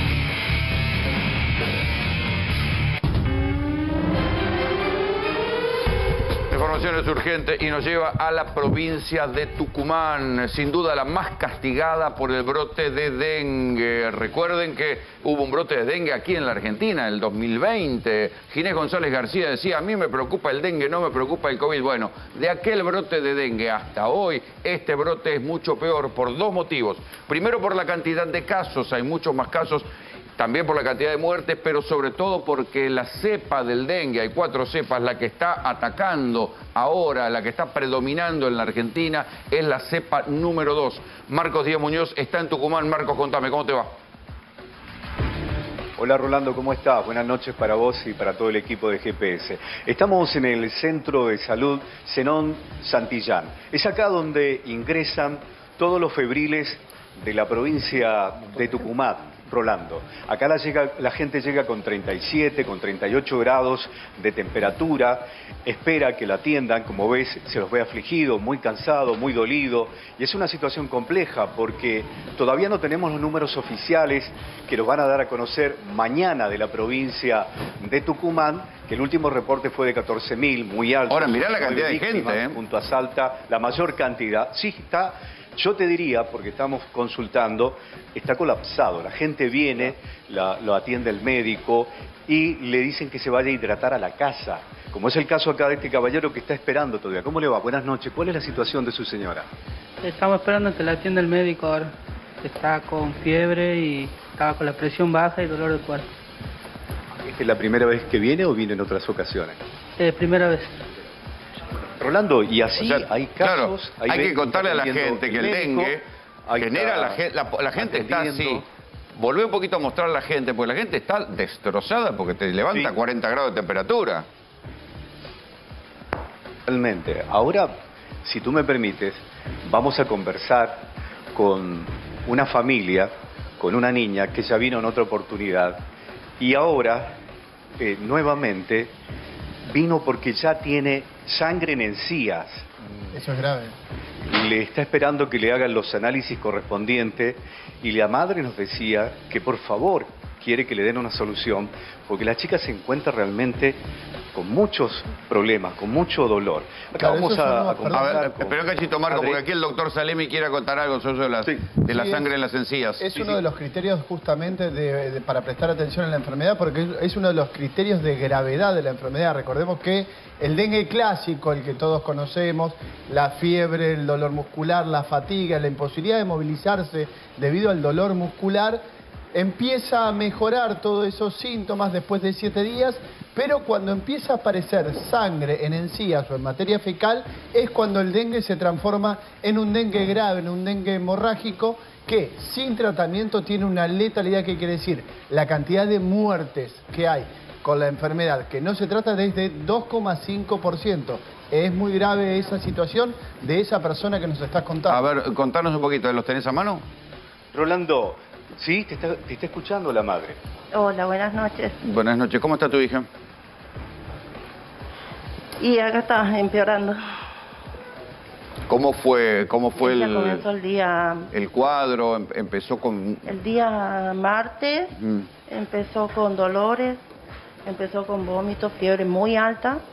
El día jueves comenzó con vómitos con hilos de sangre. La trajimos acá al sanatorio, al hospital. No, nos dieron solamente tres inyectables, nos mandaron a casa y nos dijeron de que si presentaba vez que la traigamos. Actualmente ella no tuvo más vómitos hasta hoy a la mañana eh, y ahora le sangran la- las encías, por eso la trajimos de nuevo.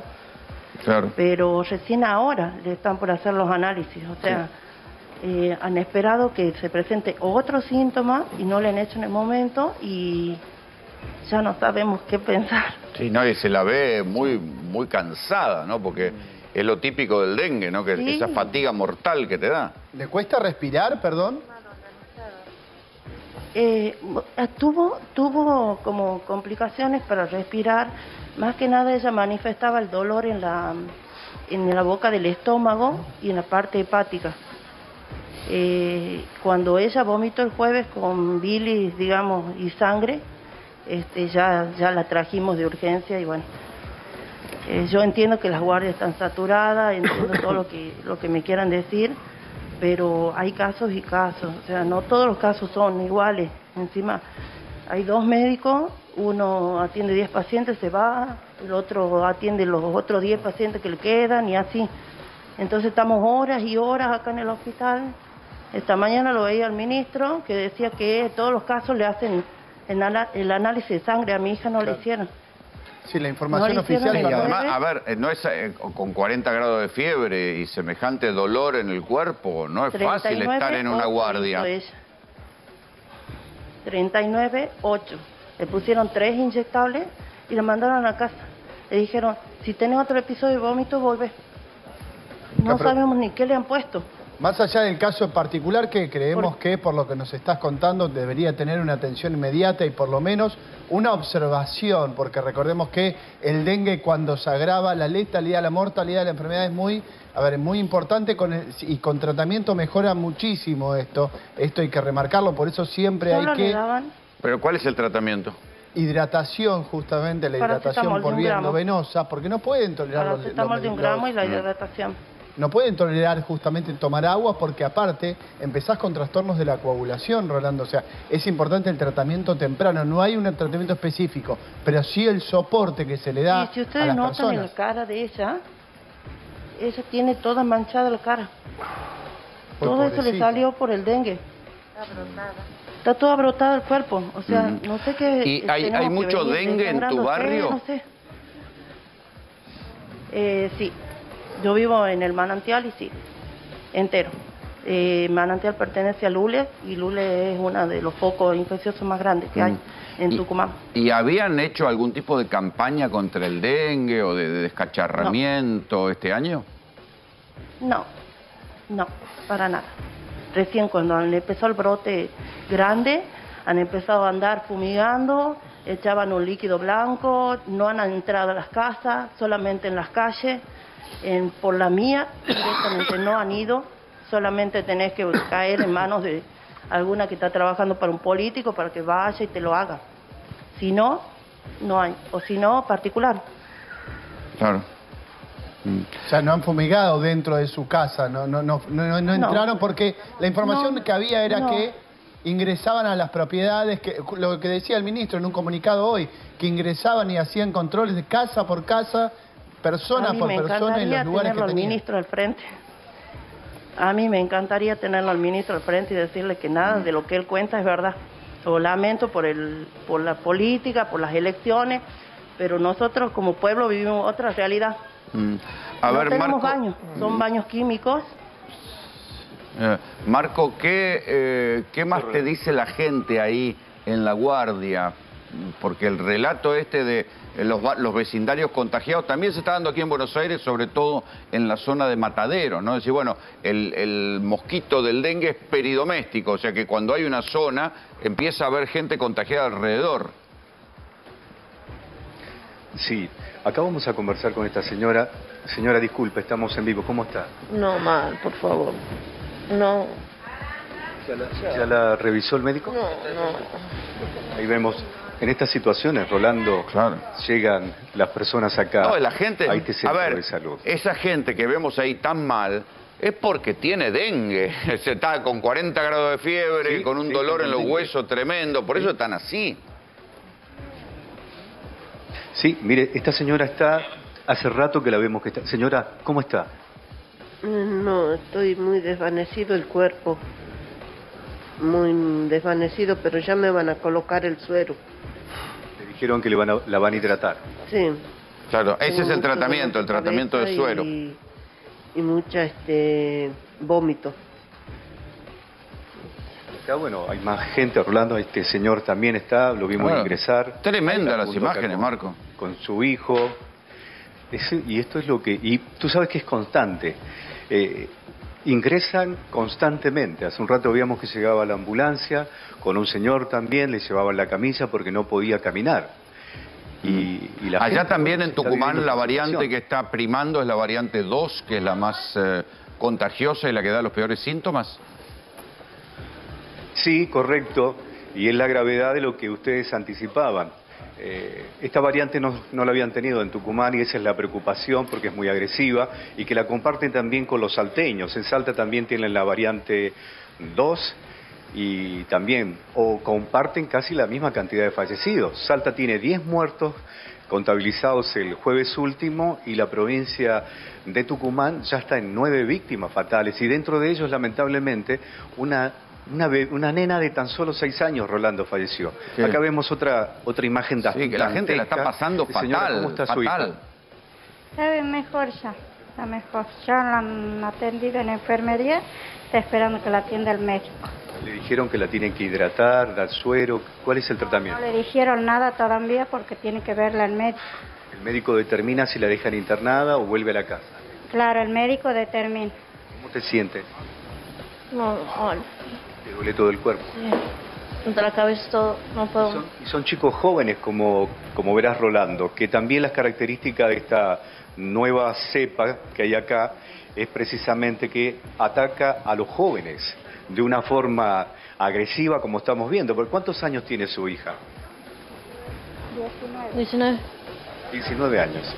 Rolando, nosotros estuvimos trabajando y hemos preparado un informe eh, para GPS y vamos a mostrar eh, en exclusiva cómo es la sala de hidratación. Vamos a hablar con la doctora Ferreira de cómo se está manejando esta situación en ese lugar donde los enfermos más graves son hidratados acá en este centro de salud de la ciudad de Tucumán. Dale, lo vemos.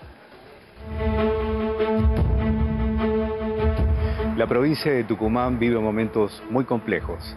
Se ha diagnosticado el dengue tipo 2, que es un dengue hemorrágico, el quebrahuesos lo denominan los especialistas. Tremendo, tremendo. Eh, la pérdida de mi madre. Certificaron la muerte por dengue hemorrágico, eso es lo que dice el certificado de defunción. Nunca pensás que de manera repentina un bicho pueda causar tanto daño, ¿no? Estamos viviendo un aumento de las consultas por síndromes febriles. La mayoría está asociado al diagnóstico de dengue. Pacientes vienen en malestar general, con cuadro de deshidratación severa. Bueno, es un serotipo, como usted lo dice, nuevo, este, que está circulando actualmente en la comunidad. Eh, tiene mucha virulencia, afecta mucho a las personas jóvenes. Estamos viendo personas de 15 a aproximadamente 50 años. Generalmente son mujeres, la mayoría son cuadros eh, de dengue moderado a grave. Los centros de salud están abarrotados. La gente viene a distintos centros principales, los que también se encuentran colapsados. Es medio complicado, medio complicado, digamos, por todo, todo lo que se vive, digamos, hoy en día. Ver cómo están los hospitales llenos y mucha gente, digamos, que está sufriendo.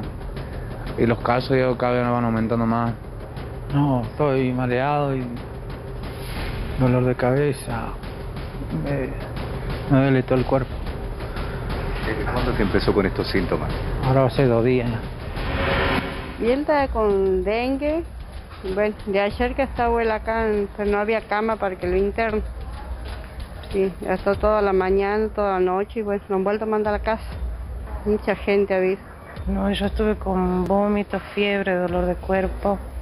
Eh, he estado con vómito de sangre. Así que bueno. Doctora, ¿este, dan- ¿este dengue genera hemorragias internas? Eh, sí, eh, hay, hemorragias.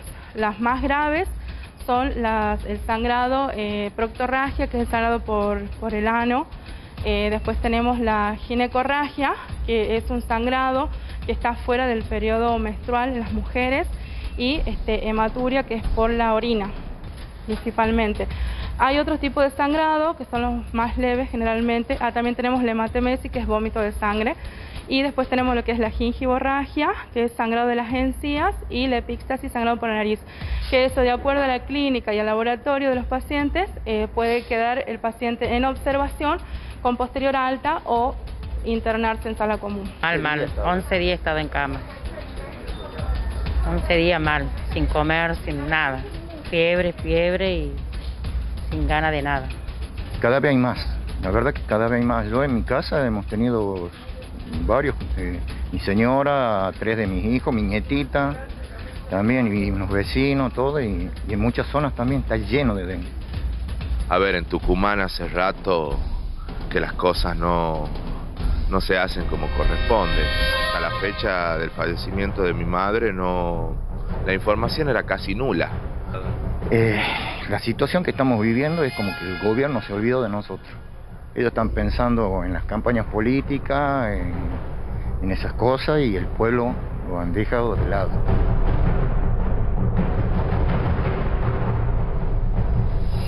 Les contábamos que la predominancia, el 70% de los casos que hay hoy en Argentina son de la cepa número 2. ¿Qué representa esto, Rodrigo? Representa que haya mayor cantidad de gente que la esté pasando mal, como estamos viendo, mayor cantidad de gente que tenga más, eh, síntomas más graves, más O sea, más graves. los síntomas de esta cepa 2 son más intensos. Son más intensos, es más virulenta, tiene mayor impacto sobre el sistema justamente de las personas que le va a generar que tengan mucha más cantidad de fiebre, mucha mayor intolerancia justamente a los movimientos, porque hay que entender algo, el dengue te da dolor muscular que no te podés parar de la cama. Por eso la gente está así en la guardia. Exactamente, lo que fíjate que viendo. no pueden sostenerse. Y No, no, algo- y están, la están pasando fatal. Totalmente, y algo, algo, algo que hay que remarcar, que no es, una, es- no es un horario pico de consulta de la guardia un domingo, pero fíjate cómo la mayor cantidad de personas estaban ahí sentadas esperando la atención, y hay que ver cuál es Mm. la demora en la atención. Vos decías que es importante el suero, ¿por qué? Es importante porque lo que te produce el dengue justamente cuando evoluciona grave es un estado de des- deshidratación masiva. Por eso es que la dificultad de respiratoria te la da un edema pulmonar. Vos tenés que hidratarte muy bien.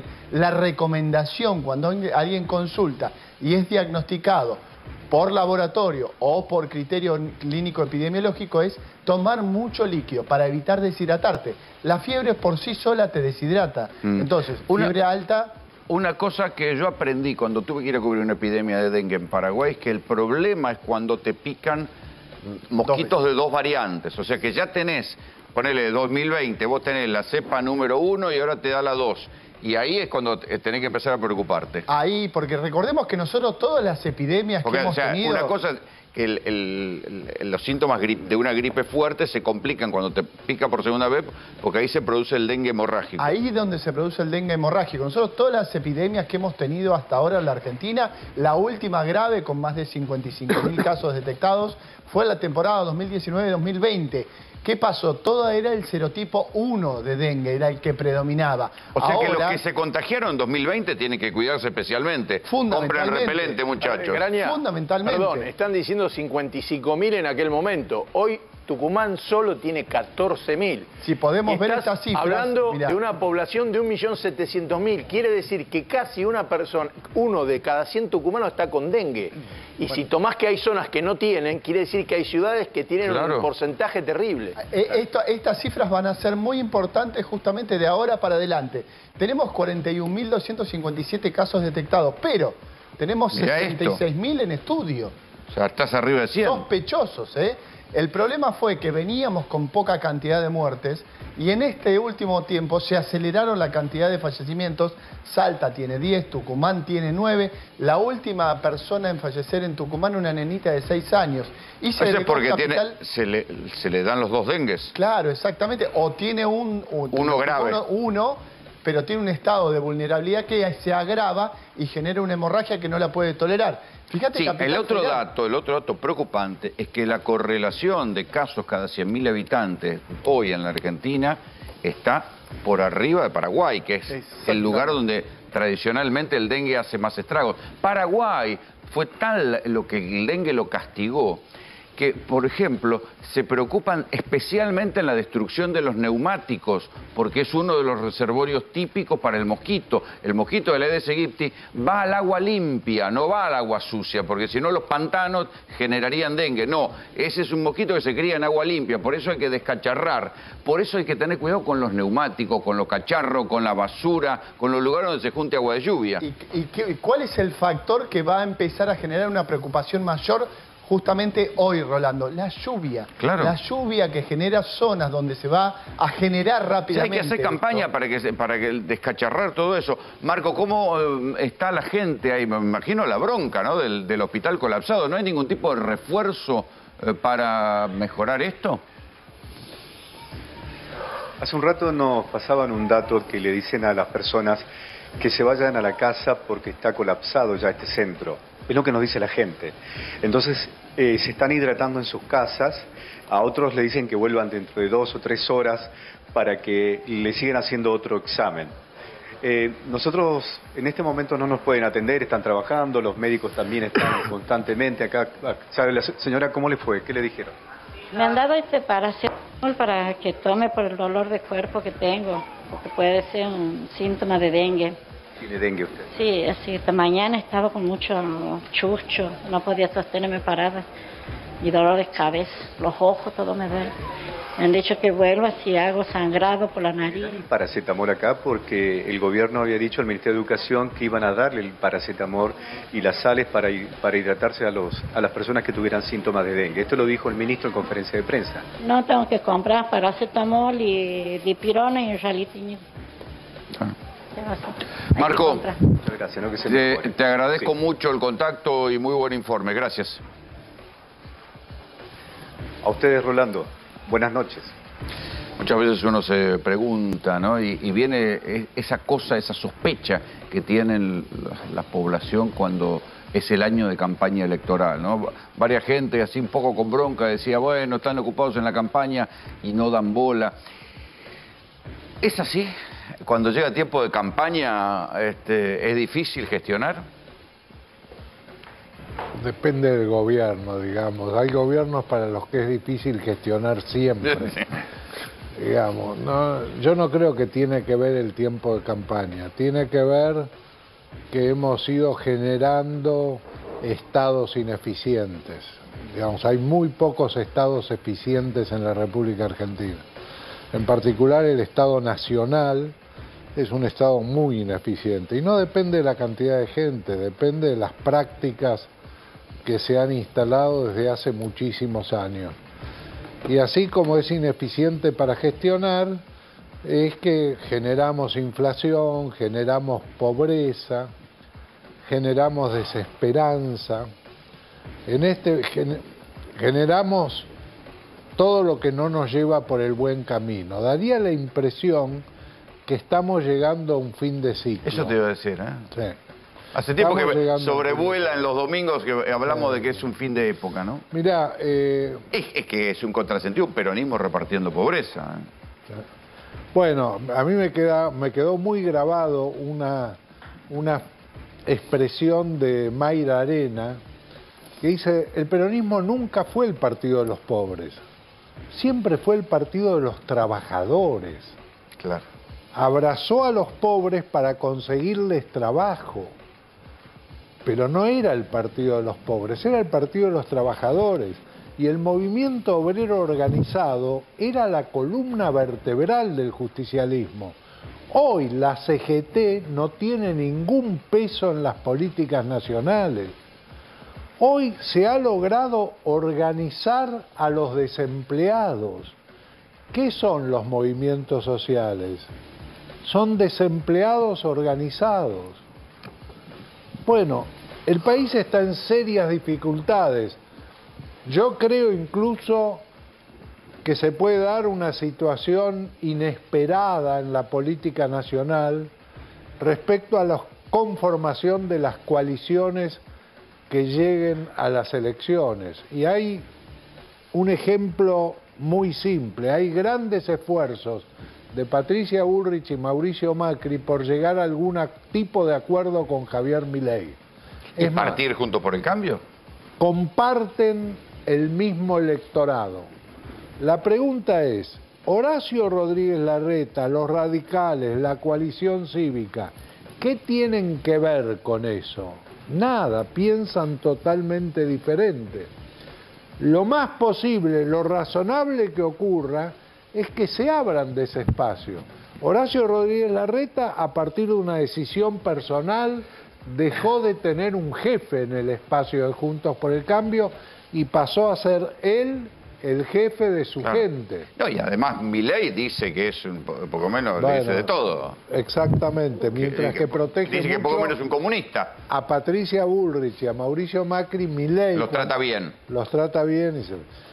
Yo creo que existe, la... se dan elecciones rarísimas. Horacio Rodríguez Larreta le va a hablar a los peronistas y les va a preguntar, escúchenme, de aquí va a salir el presidente. ¿Usted quién prefiere que sea, Patricia Bullrich o yo? ¿Qué pasa con el crecimiento de Milei? Porque nosotros en- recién en una encuesta es no voy a votar a nadie, no sé a quién votar o voto a Milei. El desencanto está, lo está capitalizando Milei. Totalmente. Pero no por su programa de gobierno, sino por su forma de ser.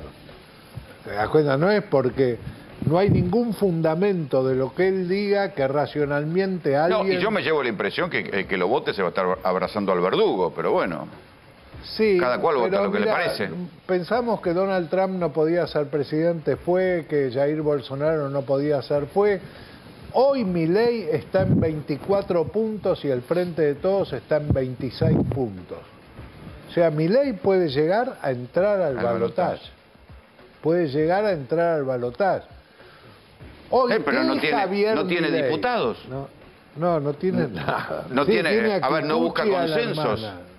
Tiene a la hermana y tiene a Kikuchi. Está bien. ¿Y en, un periodista. y en diputado y- quién le votaría las cosas? Bueno, él se va a presentar con una cantidad de diputados. Hay, digamos, hay un modelo que dice que si gana Patricia Bullrich en la interna de Juntos por el Cambio, conviene en la general ir separado de Milei para juntar una masa de diputados entre los dos que les permita después a cualquiera de los dos que llegue a gobernar tener la masa crítica necesaria para tener quórum y mayoría propia. Pero ¿qué es hoy Javier Milei? Es el que se vayan todos del 2001. A mí me importa un carajo, yo lo voto a Milei. Eso es Milei hoy. Raúl, problema. ¿le puedo Sí, hacer una, no, una pregunta? Eh, nosotros como tercera fuerza en un momento apareció el crecimiento importante de Sergio Massa y tuvo muchos votos, sobre todo en provincia de Buenos Aires. Y después quiso nacionalizar eso. Llegó a tener un número importante, pero hay lugares donde nunca le fueron inexpugnables. Recién estuvimos viendo las elecciones en el sur, en alguna de las provincias tenía el 8% Milei.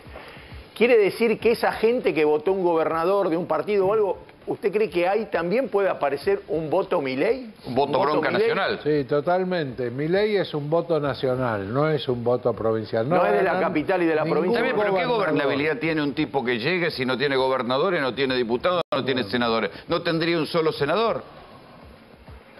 No, posiblemente no. Pero bueno, esa es la situación. Yo no sé si es si tiene gobernabilidad o no tiene. Lo que dijo Aníbal Fernández no es alocado. indudablemente que si ganan Patricia Bullrich o Javier Milei, va a haber el peronismo si es, algo tiene es capacidad de veto. Y de resistencia. Bueno, sí, el veto a través de la movilización, la gente en la calle, etcétera, etcétera. O sea que lo que dijo no es totalmente... No, la primera reacción va a salir a reprimir. Sí. Pero también hay que decir que a Patricia Bullrich y a Milei los van a votar para reprimir al peronismo. O sea, no van a traicionar su mandato. No, también hay que decir eso. La sociedad en este momento está buscando la contrapartida de personalidad del presidente actual. Presidente actual que le viene diciendo a su propia tropa, usá la lapicera. ¿Qué significa ejercer la autoridad? La sociedad tiene la percepción que el presidente actual no ejerce la autoridad. Está buscando a un autoritario, una contracara del presidente. Bueno, vos, actual. vos decías el otro día que el nuevo gobierno, las primeras, no sé, 10, 15 cosas las va a hacer por DNU, que va a No, ser... las primeras 50 posiblemente. El primer día va a sonar a golpe de Estado. Va a haber una cantidad de DNU, algunos durísimos.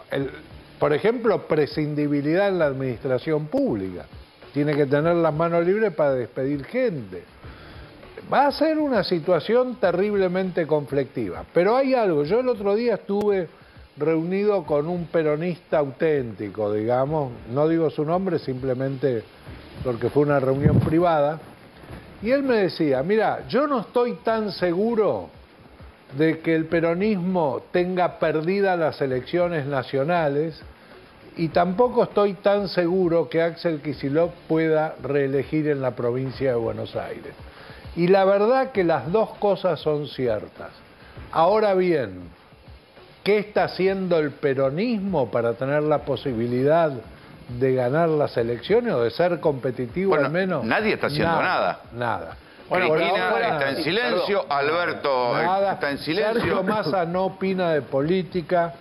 Es verdad lo que él decía, Sergio Massa tiene un partido propio, el Frente Renovador. Lo que le conviene a Sergio es levantar su partido propio. No creo que le convenga ser el candidato de Cristina, del kirchnerismo, en estas elecciones. Pero, pero si el peronismo no tuviera hoy un candidato y no resuelve una pelea antes de las elecciones, decir, bueno, vamos a dar pelea, ya no conduciría, como dice usted, la resistencia, porque habría desaparecido el peronismo previamente, porque eh, la obligación del peronismo frente a una elección es decir, bueno, muchachos, vamos a, a- no vamos a darnos por perdido antes, sino a mí que me, si no le creo antes, ¿por qué le voy a creer después? ¿Se entiende? Acá el peronismo está representado por los gobernadores peronistas, Los intendentes. los intendentes, especialmente el conurbano peronista y un sector de la CGT bien. peronista. Pero la inflación está minando el No, no, terreno de los está- intendentes. Ah, está bien.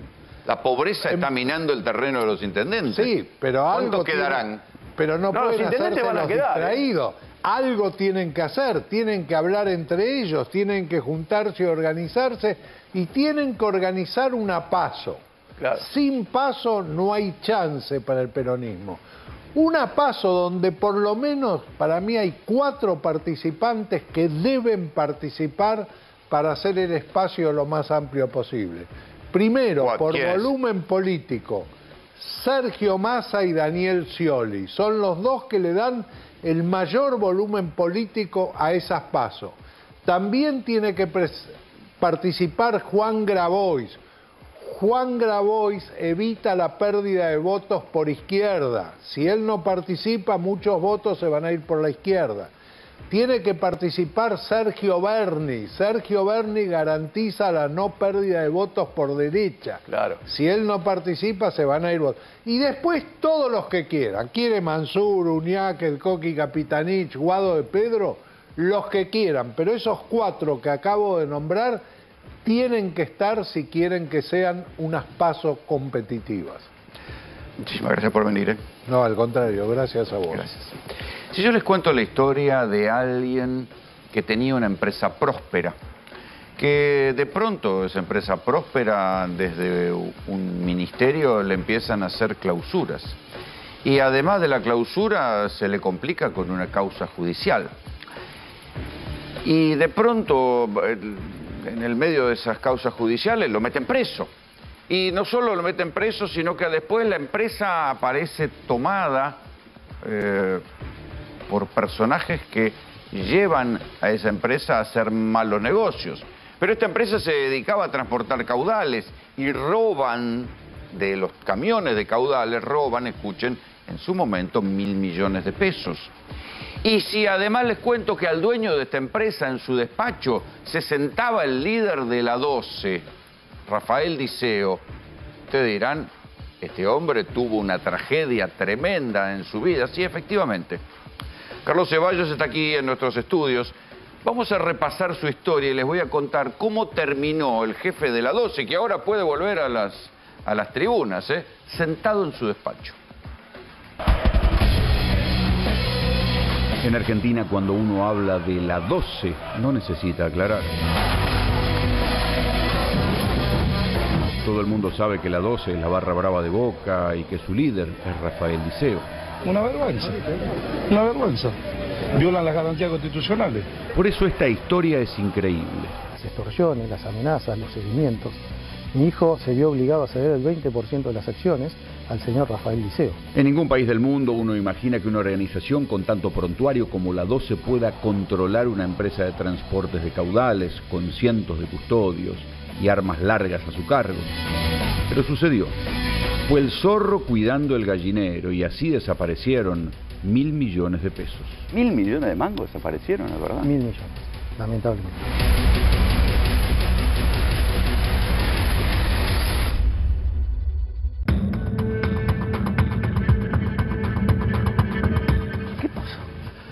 Eh, Mil millones de mangos desaparecieron, ¿es verdad? Mil millones, lamentablemente. Son mil millones que reclama el Banco Galicia cuando Codecop estaba en manos de la familia Ayerza, como gerente general el señor Hernán Ayerza, su hijo Francisco Ayerza como director operativo y la familia Ceballos fuera de la compañía. Codecop fue una de las empresas de seguridad y transporte de caudales más poderosas de la Argentina. Sin embargo, durante el macrismo empezó a tener problemas. Primero sanciones administrativas, luego su dueño, Carlos Ceballos, fue acusado de sobornos en una causa armada y terminó preso. Hasta donde yo recuerdo, vos eras el dueño de esta empresa. Sí, Rolando, ¿Y qué pasó? Hasta el 13 de diciembre de 2018 fui el presidente de la compañía y único responsable. Vos vos fuiste preso.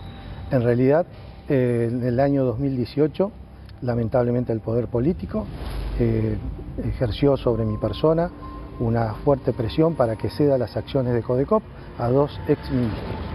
¿A quién? Yo- dos exministros que prefiero por el momento no, no decir, eh, por razones de seguridad familiar. Eh, dos Espera, no te puedo dejar pasar esa. A ver, eh, porque hubo muchos casos de empresas que fueron apretadas, porque todo 2018 estamos hablando del gobierno de Macri. Sí, yo fui una de las víctimas. El poder de ese entonces eh, generó acciones para que Codecop pasara a manos de, de personas o personajes pertenecientes a ese gobierno. Vos marchás preso. ¿Qué pasa en tu empresa? Porque si vos este, eras el principal accionista, el CEO, digamos, ¿qué pasó en tu empresa? El objetivo de la denuncia es que era que Carlos Ceballos no estuviese en la empresa y lo lograron. Me trasladan inmediatamente al Poder Judicial de Lomas y en tiempo récord yo terminé alojado en el penal de Magdalena, en el mismo pabellón de los tres imputados que yo había denunciado por pertenecer al sindicato Trucho.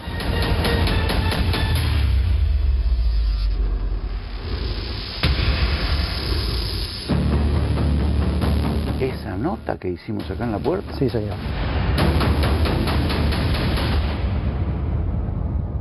No es sindicato, es un grupo organizado que se dedica a delinquir o extorsionar. Esos tipos siguen presos. Sí, señor. ¿Y a vos te metieron al mismo pabellón? Sí, señor. A una invitación a que te rompan la Sí. cabeza.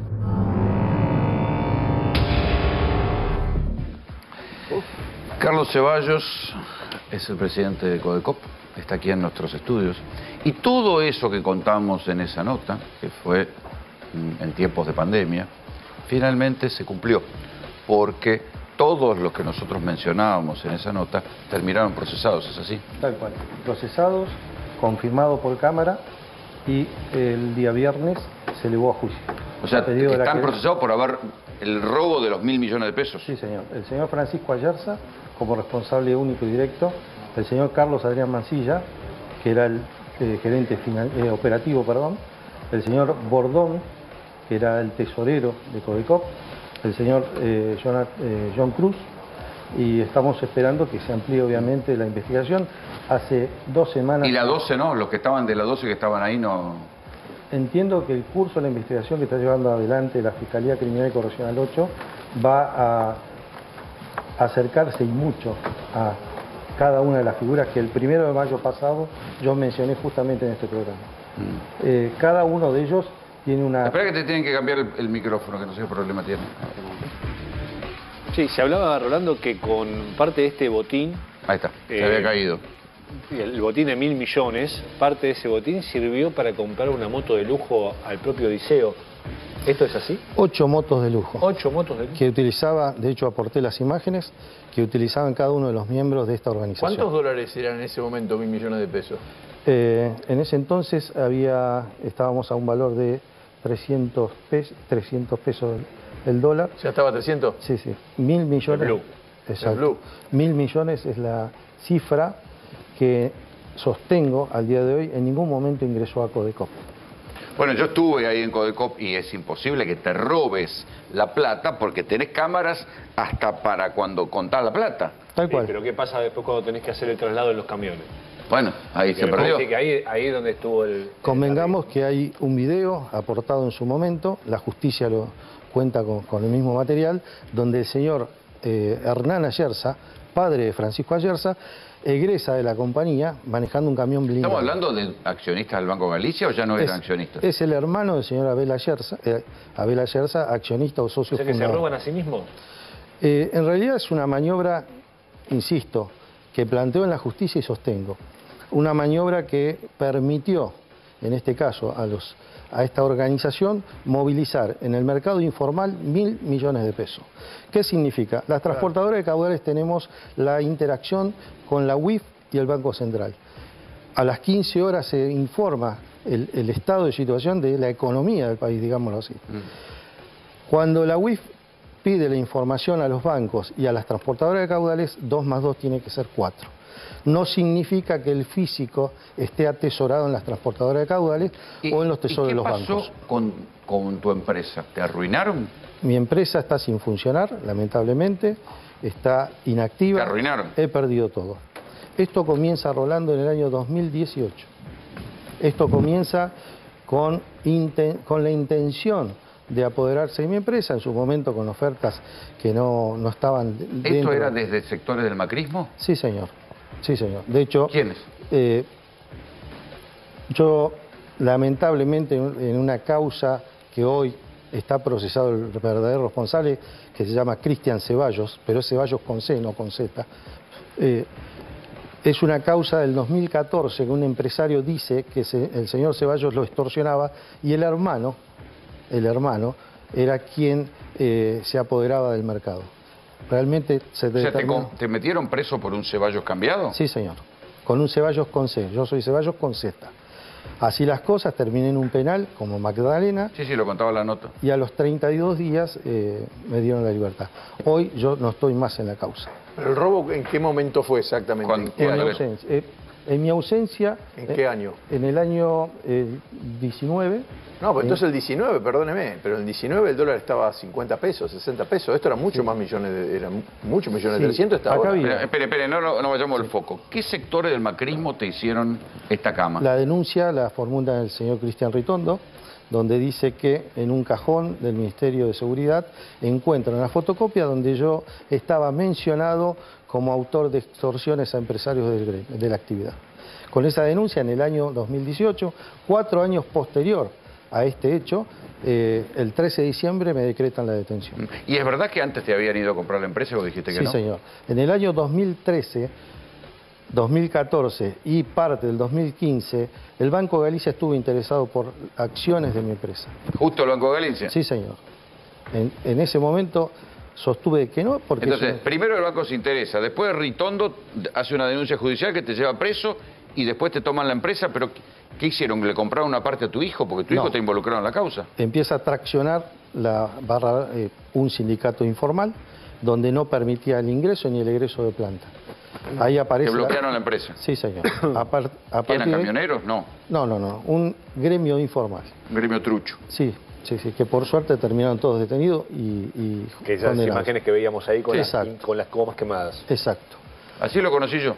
Sí, Si señor. usted, si usted pidiera ahora, por supuesto pide que recuperar la empresa y bueno, que vuelva a funcionar, que lo indemnicen. ¿Quién lo tendría que indemnizar? ¿Quién tendría que ser el responsable de devolver la plata que, que le, le- Codecop Sociedad Anónima hace dos meses se inició, presentó una demanda por 6 mil millones de pesos al Banco Galicia por daños Ah, contra el banco, Sí, señor. no a la persona, sino al banco. Máxime que hoy tenemos procesado al señor Francisco Ayerza y parte de Pero hay una relación probada de Francisco Ayerza Sí, sí, con el Banco sí. Galicia. Sí, señor. La familia Yerza son los dueños. No, pero una cosa es ser familia, otra cosa es No, miembro bueno, pues si le directorio. querían comprar el banco, el propio banco le quería comprar. Y bueno, después pero no de- quiere decir que sea un responsable penal. Ojo. El señor, no, lamentablemente no. Ah, por eso. El señor Abel Ayerza, socio fundador de Banco Galicia, es hermano del señor Hernán Ayerza, que salió en imagen. Hermano. El sobrino de Abel Ayerza, socio fundador del banco, es el señor Francisco Ayerza, hoy procesado en la causa, en la mega causa. Está bien, pero en ese momento era funcionario del banco. Sí. A partir de octubre del año pasado, eh, Abel Ayerza renuncia por cuestiones, al menos el boletín interno que circuló en el Banco Galicia, dice por razones de salud. Así las cosas, todo ese material, insisto, está aportado en la justicia. O sea, no solo lo digo, sino que con el correr del tiempo no nos olvidemos que eh, la o sea, la justicia hasta ahora te dio la razón. Pero vos seguís quebrado. Sí. Y los sí. empleados y los camiones y todo eso, que Todos quedaron en la calle, 2.700 familias. 2.700 personas. Sí, Y esos camiones están parados. Están en guarda, el 2 de noviembre del año pasado recibí la empresa en depósito judicial y hoy estamos... ¿Y ¿Cómo con te cayó la, la- la noticia de ver a, a Diceo y a buena parte de los que estaban sentados en los escritorios de tu empresa que ahora pueden entrar libremente a, a la cancha? Lamentablemente, eh, mal, pero lamentablemente esta gente, estas personas, queda claro que yo tuve dos reuniones con el señor Diceo, personalmente.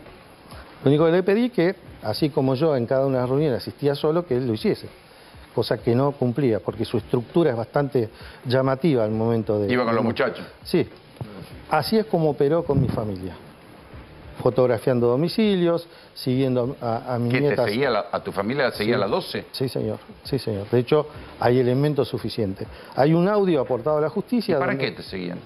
Como elemento de Para presión, como maniobra, sí. ¿Por qué? Porque el otro 50% de las acciones la tenía mi segundo hijo, Matías.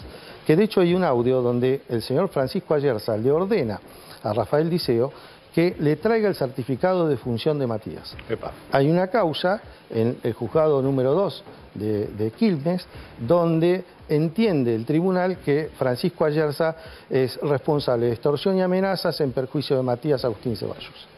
O sea, todo lo que yo estoy contando, o mejor dicho, que comenzamos a hablar el año próximo pasado, lo fue materializando la justicia y hoy llegó al ¿Y Diceo procesamiento. está de todo. también acusado? Diceo era parte de la organización Ayerza. Diceo Claro. A ver, eh, a ver, va- vamos a ver en la segunda parte del informe aparece la 12.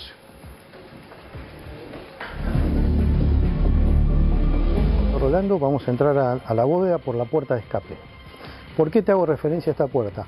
Porque por esta puerta era donde el señor Hernán Ayerza y su hijo Francisco extraían bolsas de dinero, de dinero procesado por Codecop. Ahí hay Sí, una cámara, debe estar el video. Sí. ¿Tuviste acceso a eso? No, Lo borraron. justamente los videos y todo el respaldo que nos permitiría hoy ante la justicia documentar lo que estoy diciendo, lamentablemente no está.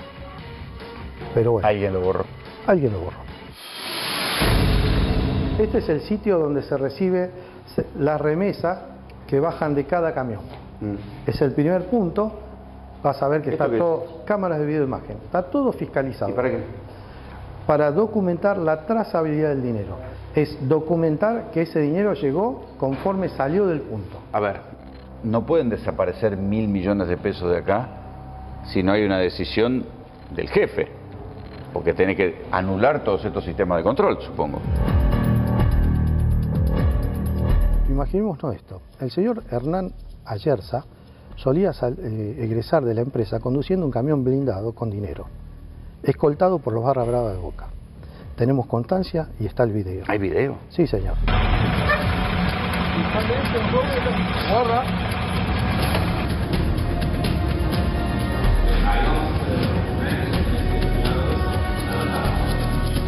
Tiene que ver la barra brava de Boca.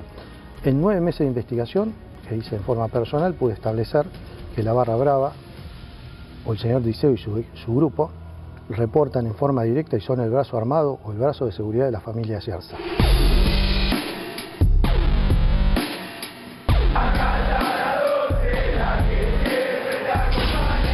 O sea, quiere decir que eh, estaba la 12 acá en Codecop. Sí, señor. Como muestra de la presencia de los barras de Boca en Codecop, aquí están estas fotos, tomadas en las oficinas de la empresa con las que luego se hicieron credenciales. Esta es la puerta de la bóveda. Podemos hacer la apertura porque la bóveda está sin actividad. Está bien, pero mientras vos no estabas en la empresa, acá había plata. Sí. Eh, de hecho, la bóveda, No me diga que los barras de Boca accedían a la bóveda. lamentablemente sí. Se mezcló, la política del fútbol se mezclaron. ¿Y es verdad que Liceo tenía una oficina acá? Ocupaba mi oficina. ¿Tu oficina? ¿Liceo ocupaba tu oficina, la oficina del jefe? Sí, lo, lo Pero- entiendo, más allá de las comodidades de mi oficina, lo entiendo como un poder de acción, como un trofeo. Es decir, tomé posición. No se olviden que yo era el fundador, yo fui el fundador de Codecop. Permiso. En esta oficina trabajaba el señor Diceo. Esta es la oficina de Liceo, Sí, señor. que era la tuya antes. Exacto. ¿Y el paquete accionario de por de quién es? El, hoy el 100%, llamémosle el 80% y el 20% en duda del señor Diceo, como él dice por carta documento, el 80% está en poder mío. O sea, Liceo te está reclamando el 20% de las Sí, acciones de él la dice empresa. haber pagado con 10 millones de pesos.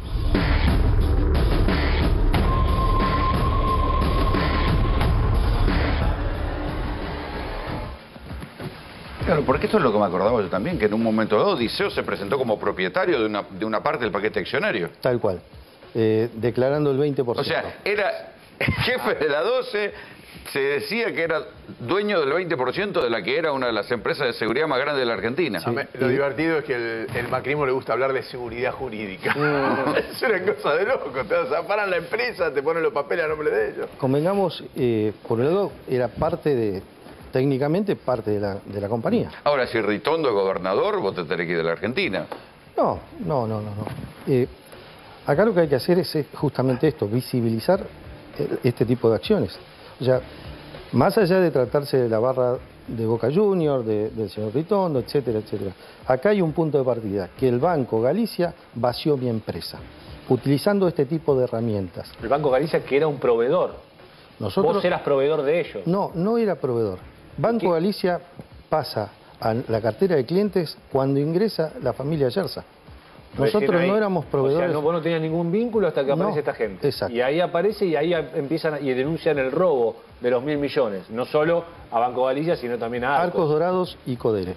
En el caso particular de los tres querellantes, únicamente Banco Galicia no tenía seguro, no tenía póliza. Ah, ¿no tenía seguro? No. En cambio, Arcos Dorados y Codere sí. Que es la lógica. A Poder es la de juego. Sí, señor.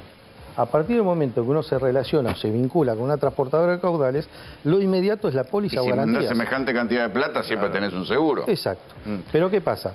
Traccionan inmediatamente los investigadores en las compañías, de las compañías de seguro. Por eso, tal cual lo declaro en la justicia, hoy sostengo que no hubo seguro para que no existieran tampoco investigadores. ¿Se entiende? Para no? que no puedan investigar esta- este fraude. Que Y que quede en la figura de Lucas Ceballos como único imputado. Por suerte. Ya vos tenés a tu hijo imputado. Exacto. La Fiscalía Criminal y Correccional número 8 de Capital Federal entendió, en base a, a elementos y, y a pruebas, que la familia, el señor Francisco Ayerza, Carlos Adrián Mancilla y el resto de la estructura eh, estaban, eran parte de esta... Y es, ver- espera, espera, espera, Fer. ¿Y es verdad que se robaron armas y chalecos antibalas? Exacto. ¿Quién se los robó? Eh, estamos en plena... ¿En qué periodo? No, no, esto hace un mes atrás. Nosotros Ah. estamos... Sí, sí, sí. Un segundo, un segundo episodio. Sí, nosotros estamos... Pero ya bajo tu control se robaron bajo mi control. Nosotros estamos con una superficie de 7 hectáreas y media Sí, es gigante el lugar. y con un solo guardia que es el, el rondín. El- la única manera de entrar a donde estaba el armero o donde nosotros teníamos bajo guarda el armero homologado y habilitado era aquel que conociese. Miren ustedes cómo son las cosas. En las redes sociales, hace muy poco, de hecho lo pude certificar a través de Escribano, hay uno de los imputados que se muestra, tanto en Facebook como en perfil de WhatsApp y, y el resto y otras redes, vistiendo un chaleco antibala y portando arma larga. ¿Qué quiero decir? Si bien no, no tengo los elementos o herramientas suficientes Para demostrar que el arma salió de ahí. pero me da que pensar que esta situación, acción o, o muestra de este de uno de los imputados en esta causa eh, sea ¿En la causa inmediato- en la causa de Codecop, del Ah. Banco Galicia, llamémoslo así. Me llama poderosamente la atención O sea, que alguien tenía la, la manera de entrar o tenía a- acceso para sobornar a alguien donde para estaban entrar. guardadas las armas Exacto. y todo eso. Y convengamos que el señor Carlos Adrián Mancilla fue gerente operativo con movimiento, disposición y manejo. ¿Te traicionaron empleados tuyos? No fueron empleados míos. Mm. O sea, el señor Mancilla nunca trabajó conmigo. Él ingresa a planta a partir del ingreso de la familia Yersa. Esto, pero, perdón, ¿Por qué lo Exacto. estudia? ¿Por qué si pasó en provincia esto? eh, ¿Por qué lo estudia? ¿Por qué está la capital federal el Banco juicio? Galicia, a partir de este momento, del momento que, que- que- que falta el dinero, después de seis meses de reclamarle el dinero a Codecop, formula la denuncia en el juzgado 31 de Capital Federal. Ah, por eso es investigado ahí. ¿Pero no Sí. sería un delito nacional a la larga? No. No, es un delito, digamos, de, de carácter federal. Eh, intervino el juzgado Federal, 31 digo, ah. de, eh, de Capital Federal. Carlos, ¿y ahora qué? O sea, estás quebrado y nunca te pudiste reponer de eso. No, eh, la verdad, no. Estoy siguiendo la causa día a día, hemos avanzado mucho. Eh, de manera privada, hace ya un tiempo yo les había comentado que veníamos investigando en forma directa y aportando a la justicia.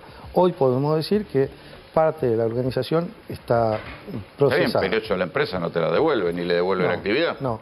Eh, Banco Galicia... De- puede tener razón, pero puede estar quebrado. Claro. de hecho, lo estoy. Eh, espero que Banco Galicia a sus clientes, socios, inversores y a quienes habla les sepa explicar qué pasó. Porque hasta ahora, de todo esto, el Banco Galicia guarda silencio. Son 30 millones de dólares, por lo que calculé, de esa Promedio. época son 30 millones de Perdón dólares. por la Sí, sí, desprolijidad. 30 millones de dólares, bastante. Es una cifra para estoy- cualquiera. Sí, pero es dinero... de No, no, pero es solo eso. A mí lo que me impresiona es la secuencia. que la primero te empezaron a poner multa, te armaron una causa, terminaste preso, vino alguien, se quedó con tu empresa, se, se chorearon mil millones de mangos de tu empresa y te devolvieron una cáscara vacía. Por más que tengas razón, y lo de la- y lo de se la rompieron todo. la foto dentro de la empresa para, Sí. lo- para las entradas, para el, para el carnet de socio, tremendo. Carlos, se nos va el programa. Gracias por venir. A ustedes. Gracias. Y nosotros nos vamos, esto fue GPS, le agradecemos a la gente de la Nueva San Telmo que nos manda comida para que nosotros no comamos, porque no nos dejan nada esto. Se morfan todo, viejo. Hoy me tocó. ¿Qué? Me tocó, Ah, me tocó. vos, traidor, Hoy me tocó. traidor, se escapó por los pasillos a comer. Nosotros nos vemos el domingo que viene. Chao.